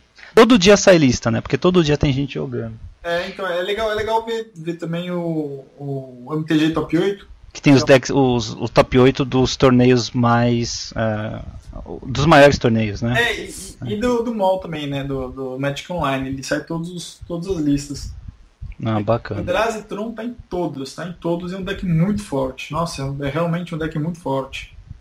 Tem É. também as variantes de. É, Jund é uma só, né? Mas eu acho um deck bem forte, difícil de, de combater no formato. E tem as variantes do- dos Delvers, né? Tem Grixis Delver, por exemplo. Agora, o legal, o legal você ver é que Ma- Magic, principalmente Modern, é, ele é muito voltado pro meta. Você- É meta. Se você É, conhecer o que as pessoas exato. estão jogando, você consegue. É, é mais do que no, no T2. O T2 não é tão, tão focado assim na, na meta, no meta, né? Ele tem bastante. É lógico que é importante você conhecer o meta, mas no Modern é o que vai te definir o jogo. Clots é meta e sorte nos pairings, né? É, exato. Sorte nos pontos. O primeiro lugar do torneio Modern da Star City dessa última semana foi Glorious Vengeance. É, Torneio com 140 jogadores. Mas aí que tá. Você conhece o formato, você aquele você transformar aquela match 70-30 ou 30-70 pra ficar 40-60 é, o É. que faz você ir pro top 8 e ganhar ou não. Exato, exato. E, a, e, e é- é muito importante você conhecer também o meta local. Por exemplo, no Brasil é um pouquinho diferente da, de lá fora. Por- Eu não sei porque algum- por algum motivo É. aqui no Brasil a galera tem uma paixão muito grande por Tron. Então você sempre vê os cards de Tron. ah, agora o Escape Shift. O Escape Shift tá muito na moda. É, também é outro deck que tá sempre aparecendo. E os e brasileiro, por ter pela moeda, pela, pela nossa condição financeira do, do brasileiro, a- nosso meta muda um pouquinho menos do que lá fora, com, com menos velocidade. E, e Jund, por exemplo, é um grande exemplo disso. Quem monta Jund, quem já montou Jund alguma vez, vai de Jund. Vai. Então, assim, É, se você investiu em quatro Tarmogoyfs pra se livrar Se você- não se dá. você- Não, você pode mudar pra Abs, né? É, exato, é isso. Se você já gastou com, com Goif e com Liliana, você vai de, você vai de, de, de Jund. E é compreensível, né, Cláudio? Porque É. o custo aqui pra gente é altíssimo. Exato. Então acaba sendo sendo Agora tem o, o o novo Death Shadows, né? Que também é Goif e Liliana. É, exato. Tem tem essa também. Eu, eu acho, eu pensei, a, primeiro meu, meu primeiro pensamento era com certeza ir um- um deck com, com Blood Moon. Que, que use Blood Moon de main, que nem eu fiz a Ah, última isso é legal. No último CLM eu fui com, com, a, com deck com Blood Moon de main. Tinha magos também? Magos? Não, não, magos não. Nossa, quer jogar de Mono Red? me- É, quatro Blood Moon, tipo quatro magos e quatro Espírito Guia Símio, pra baixar no segundo turno. É, Vários. Ponte Traiçoeira também. É, o- joga de Squad Red logo, é, esse, esse, Não, esse esse é melhor. Esse é um, é um Boros Lock, né? Tem o O- Boros Lock, mas tem o Mono Red, Tem o Mono Red também. que é com Koff. O que, o, que eu, o que eu joguei era um G-Sky. Skylock? Não, era um G-Clots. G-Clots. é, era um G-Sky com coisa no gelo. Ah, bacana, bacana. É, com três Blood Moon e coisa no gelo. É, a Blood Moon é, tem que estar tá lá para punir aquelas mana bases uh, mais ambiciosas, né, Claudio? É, tem que. E se, e se você for ver, é, é muito. É, é muito. Os, os, decks mais fortes hoje, dá uma olhada depois no, no MTG Top 8. Todo. O campeão de quase todos agora foi. Tem sido Eldrazi Tron ou Bunt Eldrazi. Tem pelo menos dois Eldrazes dois Bunt Eldrazi no, no, top 8. São decks que são, é muito difícil de voltar de uma, de uma lua. É, então, você pega decks que nem esse. Uh, decks que nem Escape Shift são decks todos baseados em terreno, né? São decks com base de terreno. Então fica, o, o meta hoje está meio que nas pontas, assim. São ou decks com base de terreno, é. ou decks muito rápidos que consigam com, é, matar antes do, dos de terreno combarem. Antes do, do, do dos Eldrazes juntarem seus, seus bichões, antes do, do Escape Shift fazer seu combo. E aí vão surgindo que nem Burn, Affinity, os Goyers Vengeance da, da vida, que são muito rápidos também. Sim. Porque conseguem, conseguem ser mais rápidos, né? E aí os, os mid-range ficam sofrendo no meio do caminho, porque mid-range não ganha de, de, de Tron. Você não tem uma. É, uma, um incentivo né, para jogar de mid-range nesse formato. Os decks estão um pouco interativos, estão pensando muito em combar e quando eles interagem contigo é um lock total, né, é como a Blood Moon. Então, a, eu acho que a não ser que tenha ban ou até desbande um Jace, por exemplo, vai ser difícil você ter incentivo para aumentar a porcentagem de mid-range no formato. É, eu, eu, acho, até, até há pouco, eu era super a favor de desbanir o Jace. Hum. Uh, eu não acho que o Jace seria nem um pouco roubado no formato do jeito que tá, do jeito que tava. Mas você, vê um, você vê uma tendência da Wizards de, de deixar o formato um pouco mais lento. Todos os caras que foram banidos agora foram para deixar o formato mais lento, né? É, o Modern, teoricamente, é o formato de turno 4, é isso? É, você não pode ter nenhum combo é, consistente antes do turno 4. É, hoje já é turno 3,5, pelo que eu tô vendo. é, é que você, você vai tentar fazer 3,5 porque é de turno 4, né? E você vai conseguir muitas vezes. Se você quer combar, é assim que faz. Eu vou confessar pra vocês que eu tenho pânico de um deck, cara. Tem um deck que eu tenho medo, de verdade. Qual? O pessoal me zoa sempre que é o Tron. Eu tenho, eu tenho medo do Tron, gente. Eu, eu penso num deck. Eu... Sabe como o Splinter Twin definiu o formato antes? Uhum. Você montar um deck, você tem que ganhar de Splinter Twin. Eu tenho problema com o Tron, porque para ganhar de Tron você precisa ser muito rápido. Eu não jogo deck rápido. Não, não adianta você jogar de control contra Tron. O late game do Tron é muito forte. Sim, sim. Uhum. Então, ou você tem que dar um jeito de matar ele muito rápido. Então, sei lá, meu. Eu, eu costumava jogar com, com Blood Moon de main deck em quase todos os decks que eu montava, tinha Blood Moon de main. E quem joga bastante sabe que Blood Moon não para Tron. Nem a Blood Moon para, ele atrasa um pouquinho. É, você, você depois é da Blood Moon. Se você não mata ele, não adianta, né? É, você tem que impor alguma pressão depois da Blood Moon, exato, senão exato. não adianta. Mas, é, Clotes, é, voltando um pouquinho sobre você, tem algum pro player que você acompanha, admira? Ah, tem, tem os, o pro player, assim. Primeiro, primeiro a gente fala do Vili, né? Do Vili Edel. Ah, você entrevistou ele no seu canal, inclusive. É, a gente, a gente conversa de vez em quando. A gente vai, tem até um trabalho que a gente vai fazer junto agora. Entrevistei ele, joguei contra ele, fiz uma. muito divertido que a gente fez uh, em algum evento, não lembro que evento que era, acho que era o WMCQ. Ele, é. ele me desafiou a fazer um, um jogo com ele. E aí no meio do jogo ele falou, beleza, a gente vai jogar, mas a gente vai jogar com a mão, só com a mão esquerda. A mão direita E aí a gente jogou com uma mão, só filmamos tudo, né? Jogamos só com a mão esquerda. E aí o meu deck tava cheio de fete pra estourar. Como é que você baralha seu deck depois de estourar uma fete com uma mão só? Joga no chão e rasga.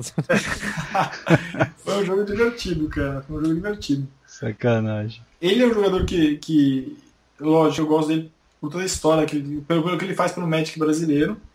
Hum. Em termos de, de, de assistir jogando, eu gosto muito assim, do Yuya Watanabe. Ah, sim. Recentemente foi pro Hall da Fama, né? É, ele, ele é uma máquina, cara. Ele, sei lá, ele é literalmente uma máquina. Não, não é literalmente, mas ele é uma máquina. Quase, né? Não sei, precisa olhar. Vai. Uma, pedir uma checagem da Wizard. Legal. É, o, o Clodes, tem algum aspecto do jogo que você era ruim? É, você era horrível no começo e hoje você domina muito bem? Que eu era ruim antes e hoje eu domino muito bem. Cara, eu tenho quesitos que eu era ruim antes e continuo ruim. Pode? Sério? ah, Sério. Eu, eu acho que uma das coisas, assim, É.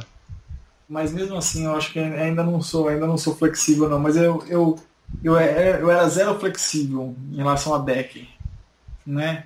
É. Ah, Você só jogava com um arquétipo, então? é, eu só jogava com arquétipo e era isso. Ah, tá.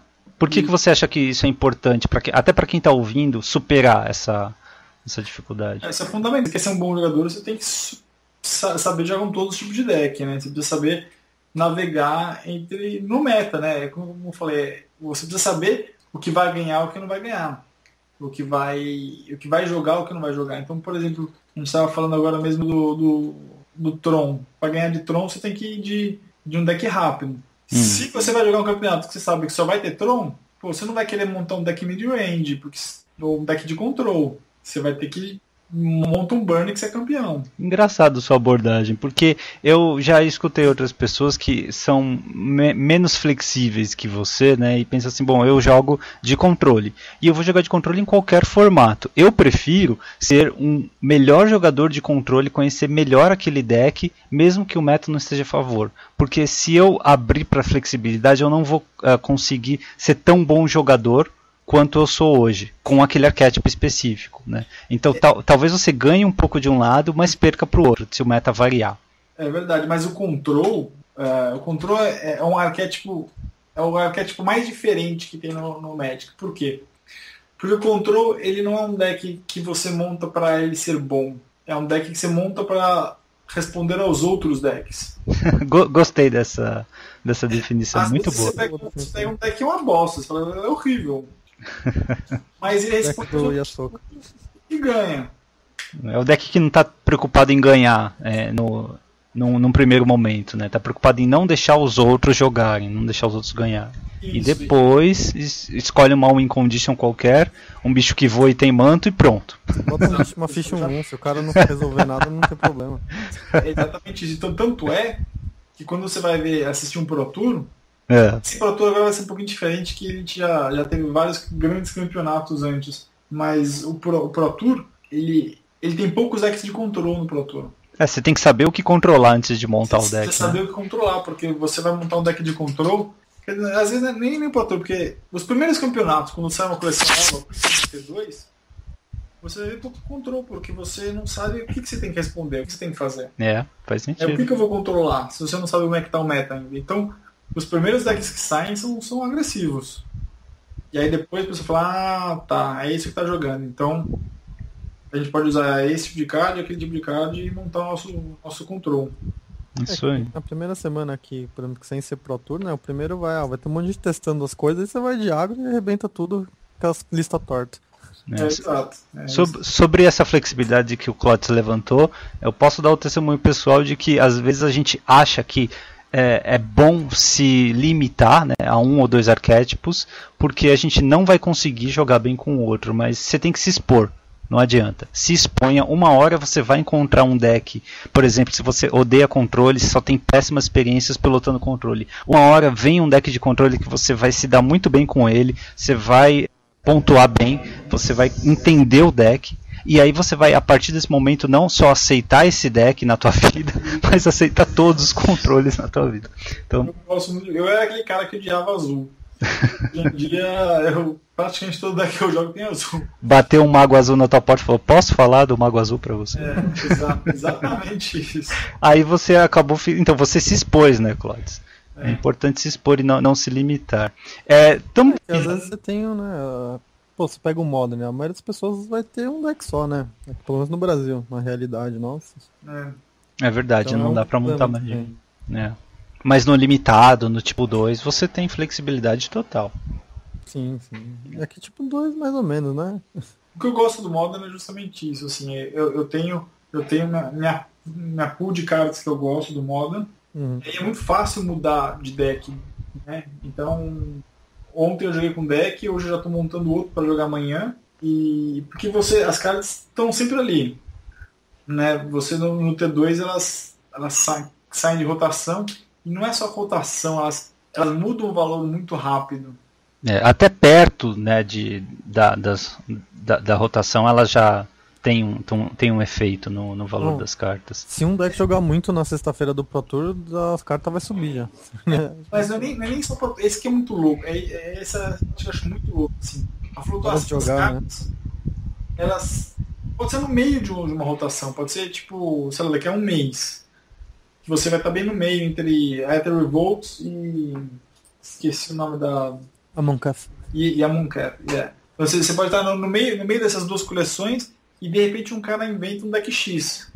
Aí, putz, o cara que você tinha já não vai jogar mais, os caras, então. É, os preços flutuam semanalmente quase, é muito louco. É, mas Às eu... vezes o deck sai do meta, né? E aí acabou, todas as é. cartas dele desvalorizam. Exato. Eu até gosto de pensar que jogar no longo prazo, jogar Modern é mais barato do que jogar tipo 2. É, é mais barato, sim, eu não tenho dúvida que isso é mais barato. É. Longo prazo, com certeza. Mas a longo prazo, é.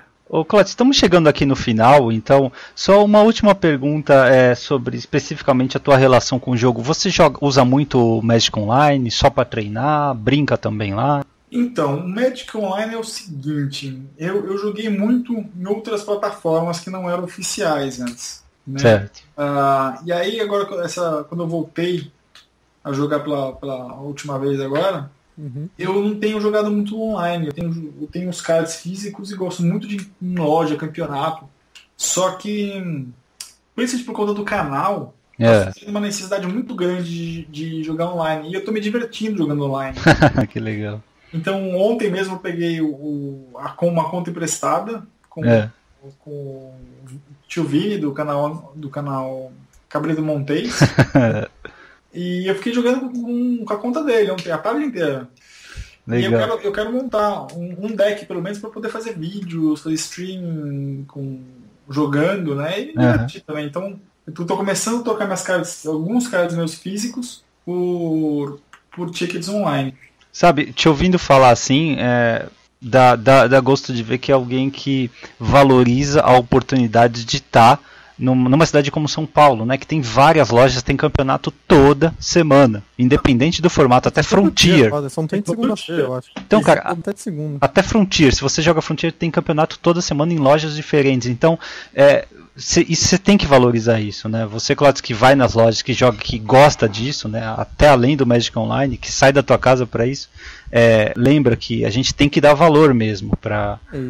Tem sacola, Pauper, Commander, tem sacola Legacy, também. É, não tem vintage. É, é, realmente deck de qualquer formato, é, é, campeonato de qualquer formato todos os dias. Tipo, se eu quiser jogar Modern todos os dias, eu jogo todos os dias. Isso, cara, é muito legal de ver, porque eu às vezes tenho preguiça, eu às vezes tenho desculpas também de ah não tenho carta, não tenho deck e tal e não vou para as lojas, mas a gente tem que né, dizer que apesar de todas as críticas, meu, se você está num lugar que tem uma loja, se está a menos de uma hora às vezes de você, meu, tem que valorizar, tem que suportar, tem que. Acho que é uma grande mensagem que você está passando. Você ouvi, te ouvindo falar, sabe, dá, dá gosto, dá vontade é, de ir para uma loja. Aproveitar o fim de semana, né? Porque durante a semana a gente sabe que acaba tarde, né? Metrô, nem todo mundo mora perto do metrô, não é tão simples, né? Sempre. É, mas essa, essa é uma coisa, uma coisa interessante do, do Magic, né? Eu, eu vou para loja e jogo bastante, porque eu realmente curto, assim, é, competir no Magic. Né? Uhum. Eu gosto de campeonatos, eu gosto de, de dessas coisas. Uhum. O Magic Online não te dá isso? O, o, Magic Online me dá, mas é diferente. Mas o, a, a questão que a gente está falando das lojas, tem, tem gente que, que eu conheço, por exemplo, que não gosta de ir em loja, pô. Gosta de jogar em casa com os amigos e. Uhum. E isso é uma coisa legal do Magic. Você, você tem mil e uma possibilidades, né? Você pode jogar em casa, você pode é. jogar online, você pode jogar, enfim, nas, na loja, formatos diferentes, você pode inventar um formato. É, isso, isso é bacana, às vezes a gente ah, fica profissional em reclamar do jogo. Eu não me acostumo com o mal, cara, é meio estranho. Vai melhorar, Felipe, a interface vai melhorar. É uma merda, é uma merda. Eu falo com todas as letras, eu xingo todos os dias. O tio Vini fica bravo comigo, porque ele adora o um, um mol. Eu acho que a ferramenta é necessária para você treinar, mas é uma merda. ô, ô Claudio, vocês estão jogando o campeonato dos youtubers, né? Fala um pouquinho pra gente. O formato é tipo dois pauper. É, T2 pauper. Então você pega qualquer card que tá no T2 agora e que ela é comum agora. Ok. Então ela. Por exemplo, a gente tem Lightning X, que é machado de, de relâmpago, sei lá como é que se chama. Eu tenho problema com o nome de card, tá, gente? Sem problema, a gente também. É mana ou uma mana descartar uma, é isso? Isso. Isso. É uma é. mana descartar uma com certeza e dá 5 de dano à criatura. Isso. É, eu acabo falando o nome em inglês por causa do- do- das listas que eu vejo são sempre na gringa, né? Sem problema. Normal. Desculpem, galera, eu não sei o nome em português. Mas enfim, Tem, tem ouvinte que pede pra falar em inglês. É, então, é, esse card, ele nessa coleção, ele é incomum, mas ele já foi comum em outras coleções passadas. Então é válido? Então não é válido. Ah, não é válido. Confusão, ela não é válido porque nesse T2 ela não é comum. Tem alguma carta banida? Tem, tem uma carta banida eu achei que foi um erro banir esse card, Qual? que é o putz, é aquele bichinho toda vez que você faz uma mágica, É o termo alquimista, não é? Termo Alquimista. Putz, esse desgraçado. Ele é muito forte, ele é muito forte. Ele é bizarro, velho. Mas eu nos meus testes eu avisei que não era o card mais forte. O card mais forte que tem É. é o Alto Montante, acho que chama. Puto, Self- o Self-Assembler. Ele é ridículo. Ele é E, ridículo ca- cara, todos os jogos desse campeonato que eu vi é, tem esse, tem quatro desse carinha. Todos os jogos. É, o pessoal, o pessoal tá colocando, tava colocando três no deck. Algumas pessoas colocaram três no deck. Uhum. Por, por muita insistência, eu insisti pra colocarem porque ele é muito forte. Né, Quando o pessoal me perguntava, eu falei, estava colocando self-assembly? E ah, não, porque eu, não, esquece. Esquece qualquer coisa, esquece se tem sinergia. Mano, coloca quatro no deck. É, é, é o novo Squadron Hawk, pô. É, não, é que esse é o novo, sei lá, meu, é, é ridículo de forte. Aí o pessoal colocou três, eu coloquei quatro, e eu, eu real- realmente montei um deck que eu não achava que estava tão forte. Mas eu comecei a jogar com ele, ele, gente demorou um tempinho para montar ele, né? Mas ele tá Aham. valendo a pena, tá indo bem o deck. É, você jogou contra o André do Motivo, né? Joguei contra o André do motivo. É, é legal ver esse jogo. É, um- uma, Barato, gente. Eu adoro o André, sabe? Não conta pra ele que você não ficar se achando. ele já veio aqui duas vezes e escuta o programa. Então já é um pouco tarde pra isso, porque ele já veio aqui duas vezes e escuta o Hack dos Cast, então ele já sabe disso. Mentira, André.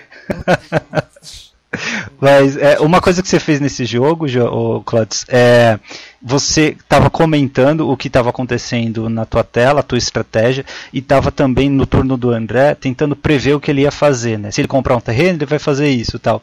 E esse tipo de comentário ajuda bastante quem está vendo, né? É um feedback que eu estou dando para você positivo, cara. Ah, legal. É Valeu. o, é o tipo de análise que é por causa desse tipo de coisa que eu gosto do Luiz Scott Vargas, por exemplo, porque quando não tem nada pra falar, ele tá tentando prever as próximas jogadas dele ou do oponente, sabe?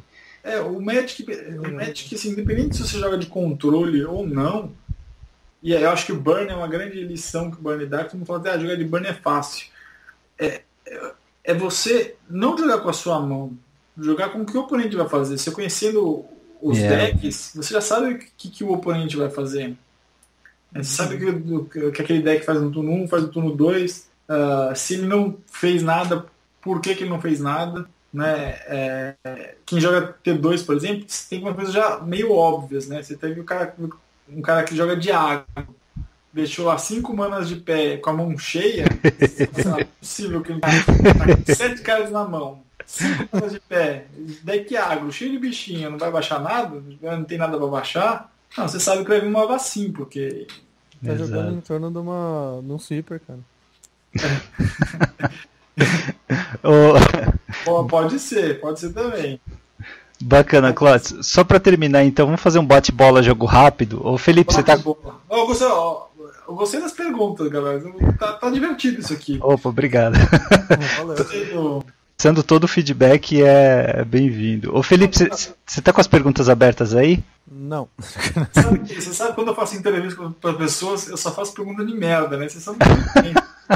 Tá A gente pegou um script e não larga mais, entendeu? boa, boa, não, boa. Pode sugerir mais perguntas que a gente faz aqui no tempo. Exato. A, minha- a única pergunta que eu faço pra todo mundo, pra todos os jogadores profissionais, é o que eles tomam no café da manhã antes de jogar, porque. Nossa, é- então, é esse tipo de pergunta irrelevante. Eu, eu já aviso antes de começar a falar, só vamos fazer pergunta irrelevante e idiota. eu, eu, Café da manhã dos campeões. é isso aí. eu, tipo, eu, eu tô louco pra chamar o PV aqui, porque as duas últimas entrevistas que eu ouvi do PV, acho que em vídeo, em podcast, não lembro, era, tipo, surgiu pergunta do tipo, se você fosse um tipo de salada, qual salada você seria, sabe? Falei, mano, você tem um Ralph Famer aí, porra. Vai perguntar umas coisas assim, cacete. Eu perguntaria qual animal que ele preferia ao vivo. Felipe, você tá excluído do programa com PV, então. Ele sempre comenta dos animais que ele vê na- nas viagens, cara. Como é que você não vai perguntar isso pra ele? Bom, vamos lá. Vou começar com as perguntas aqui. Cláudio, sua cor preferida do Magic? É. Vermelho. É a melhor cor? Não. Felipe, qual a melhor cor? A melhor cor? Não, é, deixa o Cláudio falar primeiro. A melhor cor? Não, a melhor cor não tem melhor cor. Eu, eu acho que as cores, elas. Depois do azul, né? não tem a melhor cor. é, eu acho que talvez a melhor cor seja preto. Se for pra escolher um, eu acho que eu escolheria preto. Não, gostei da resposta. Porque é mais equilibrada, né? Porque tem tudo. Tem bicho, tem removal, tem draw. Você só, você só não estoura encantamento, mas de resto. Bem lembrado. mão, né? Ó, o, azul, por exemplo, não falar que é o azul, mas o azul, ele sozinho faz muito pouco. Ô, Felipe, vamos alter- alternando. Você faz a próxima pergunta, depois eu falo. Claro. Manda aí. E seu commander? Darete, Darete é o mono vermelho? mono, mono red de artefatos. Isso, o Planinauta, né? Isso, Ok. gosto, muito, gosto muito do Darete. Eu acho que você já respondeu essa, mas qual o seu formato preferido? Eu acho que não é modern, gente. Ih, Eu acho que meu formato preferido é o pré-release, que é um tipo de selado. selado, isso mesmo, boa. Porque ele, ele, ele, ele é um selado, ele, ele não é bem selado, né? Ele tem carga a mais. É, não, é, é selado com uma, um card só a mais, que é o promo. É, agora é um card só, mas teve uma época que você escolhia a cor. Era... Escolhi a guilda, é verdade. É, No começo era um selado, depois. foi- Aliás, sobre isso, Glodes, é, teve uma época do. é, ainda né, nessa época que você escolhia as coisas, que vinham umas promos estranhas, é, ou a promo Seeded, né, que era uma só pra todo mundo, no pré-release de Retorno de Avacyn, eu joguei na loja que o Manoar tava, né? Você falou do Manoar. E, cara, ele fez um espetáculo pra abrir aquele Hellvolt.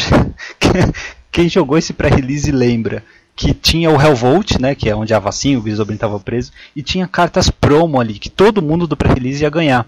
Vai que valia uma grana, né? Isso, só que você só podia abrir no final. Então a loja que ele tava, ele cercou, começou a gritar, fazer um- umas invocações bizarras, apagaram, acenderam as luzes várias vezes, tipo putz putz, assim. Nunca esqueci daquilo. O teatro que o Malor. Esse é o manual.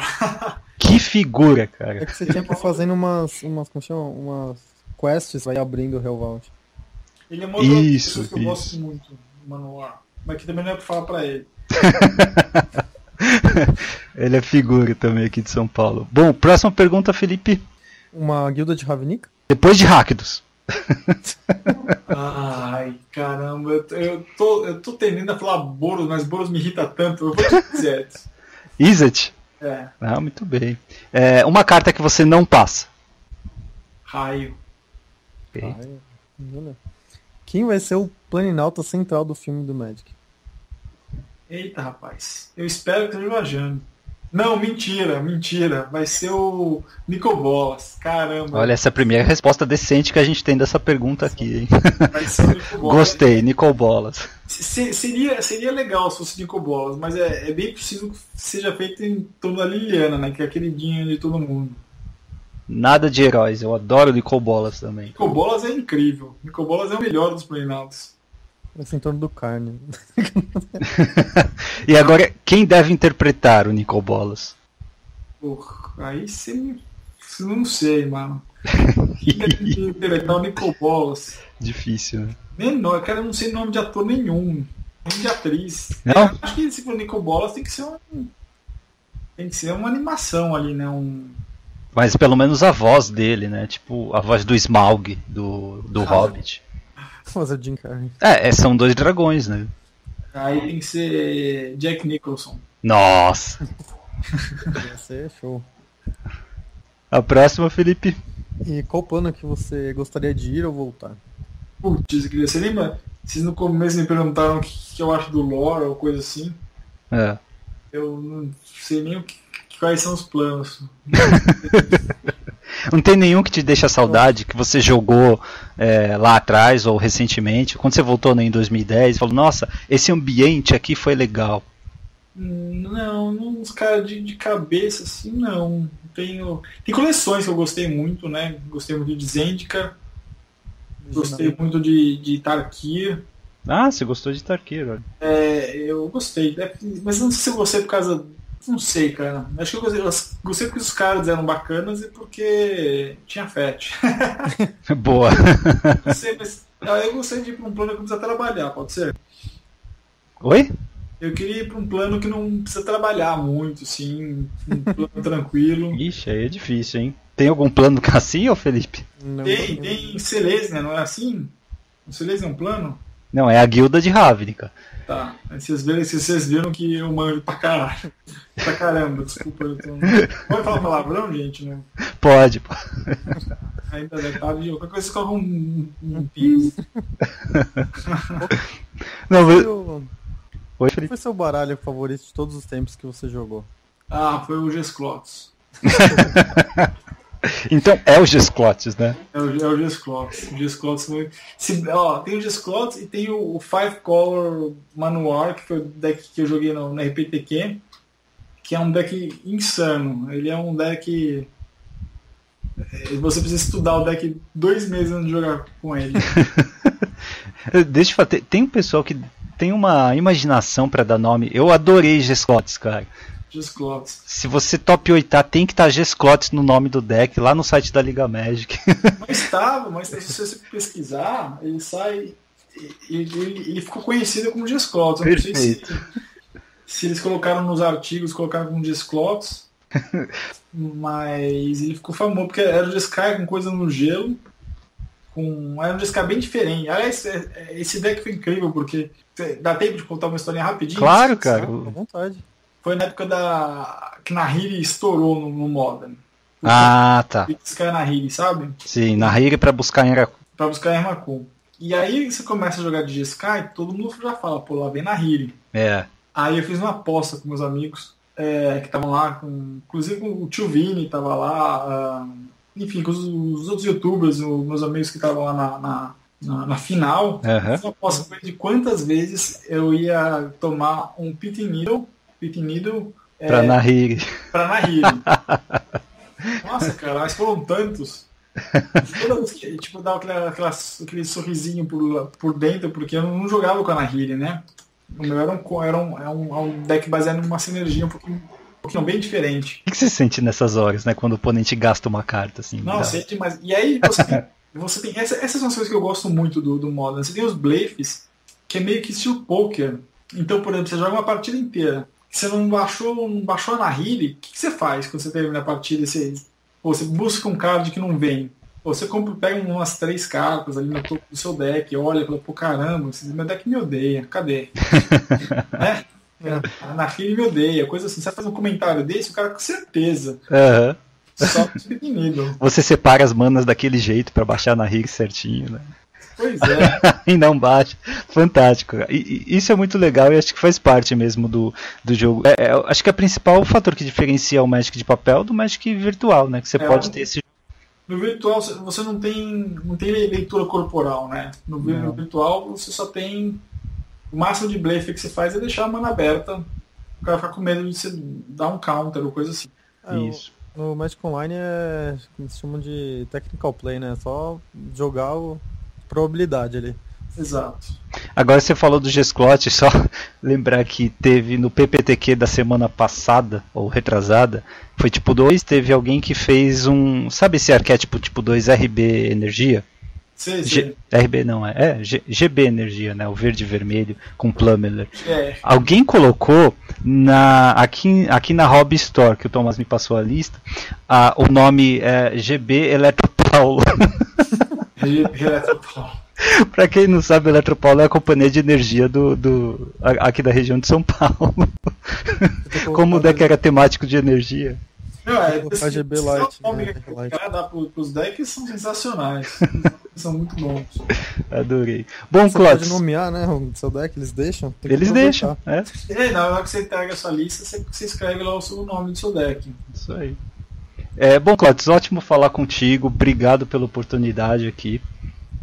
Eu que agradeço, foi o máximo, eu me diverti. Pro pessoal que ouvir isso e quiser ver o teu canal, quiser te encontrar em alguma outra rede social, como é que eles fazem? Bom, eu tenho uma página no Facebook, Vou deixar o link pra ela aqui na descrição do podcast também. eu sou bem ruim de Facebook, eu não, não manjo muita coisa, mas eu tô lá, qualquer coisa me manda pergunta, eu respondo por lá.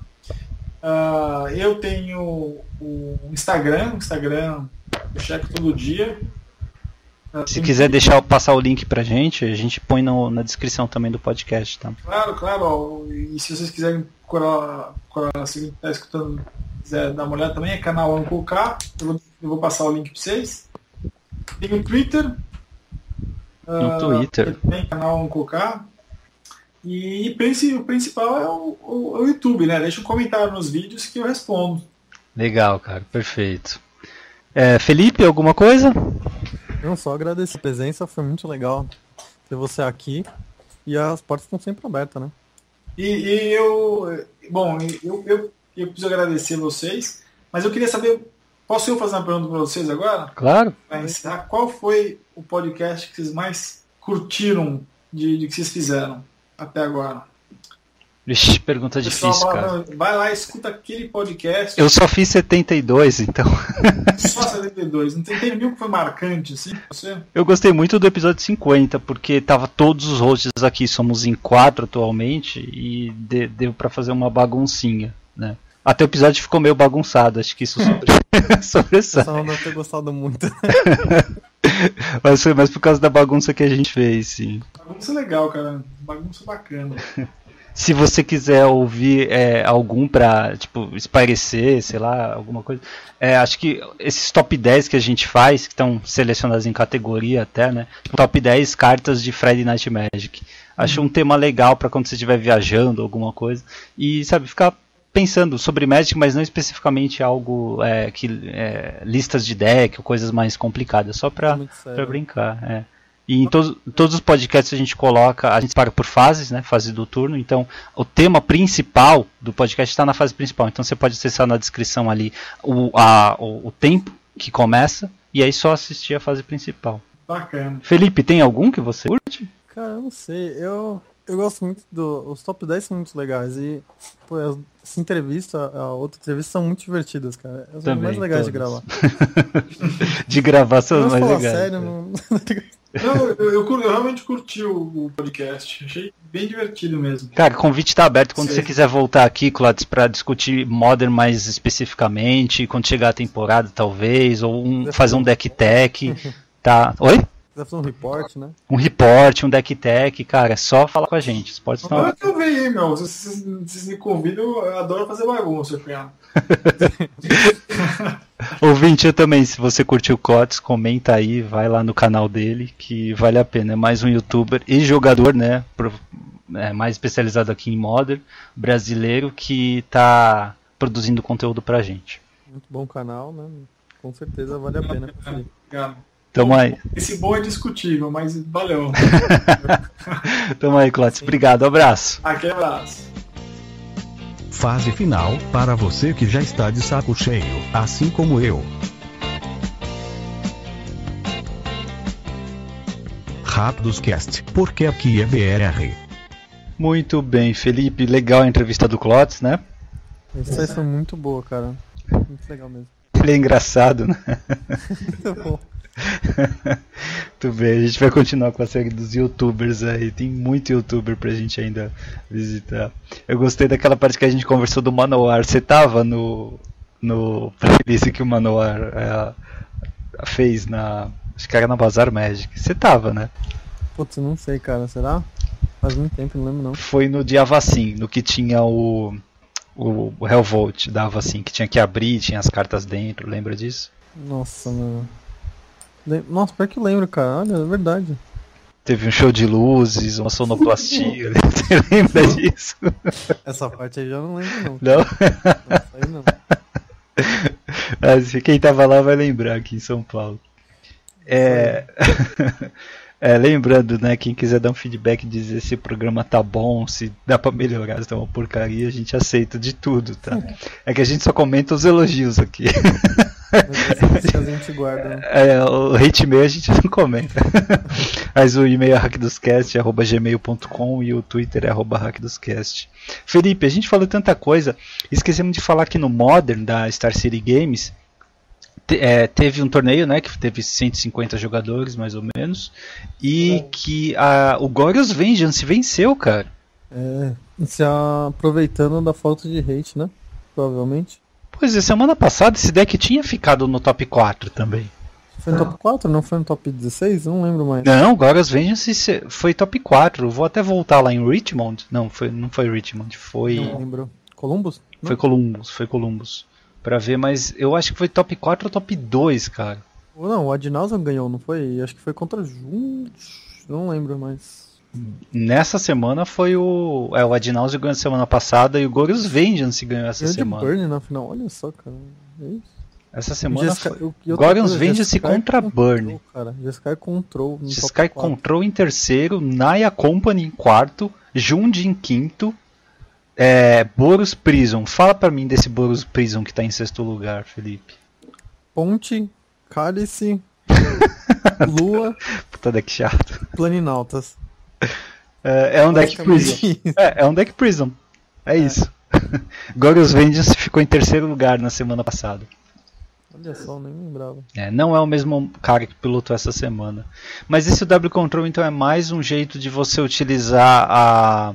é, no- o W Control, olha, o R Control, né? É mais um, um, um jeito de você utilizar o lock de é, mágicas de custo 0 ou de custo 1 um, com o cálice, a ponte traiçoeira e a Blood Moon no mesmo deck, né?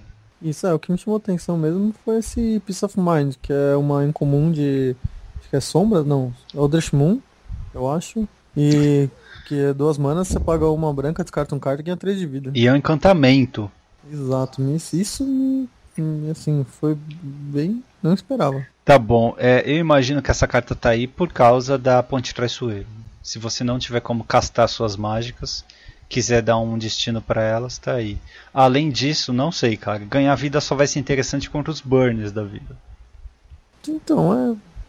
Lembra o que? Contra a Affinity que tá jogando com Ornitóptero e Signal Pass? Pô, e mesmo assim, né? É é uma carta que não faz sentido ter múltiplas no campo de batalha. Você não, tem como é tirar você Pode vantagem. descartar as outras. Tanto pra ela como pra Nahiri. Um Kitchen Finks funcionaria melhor no lugar disso. Você ganha 4 É que você não ataca, né? Oi?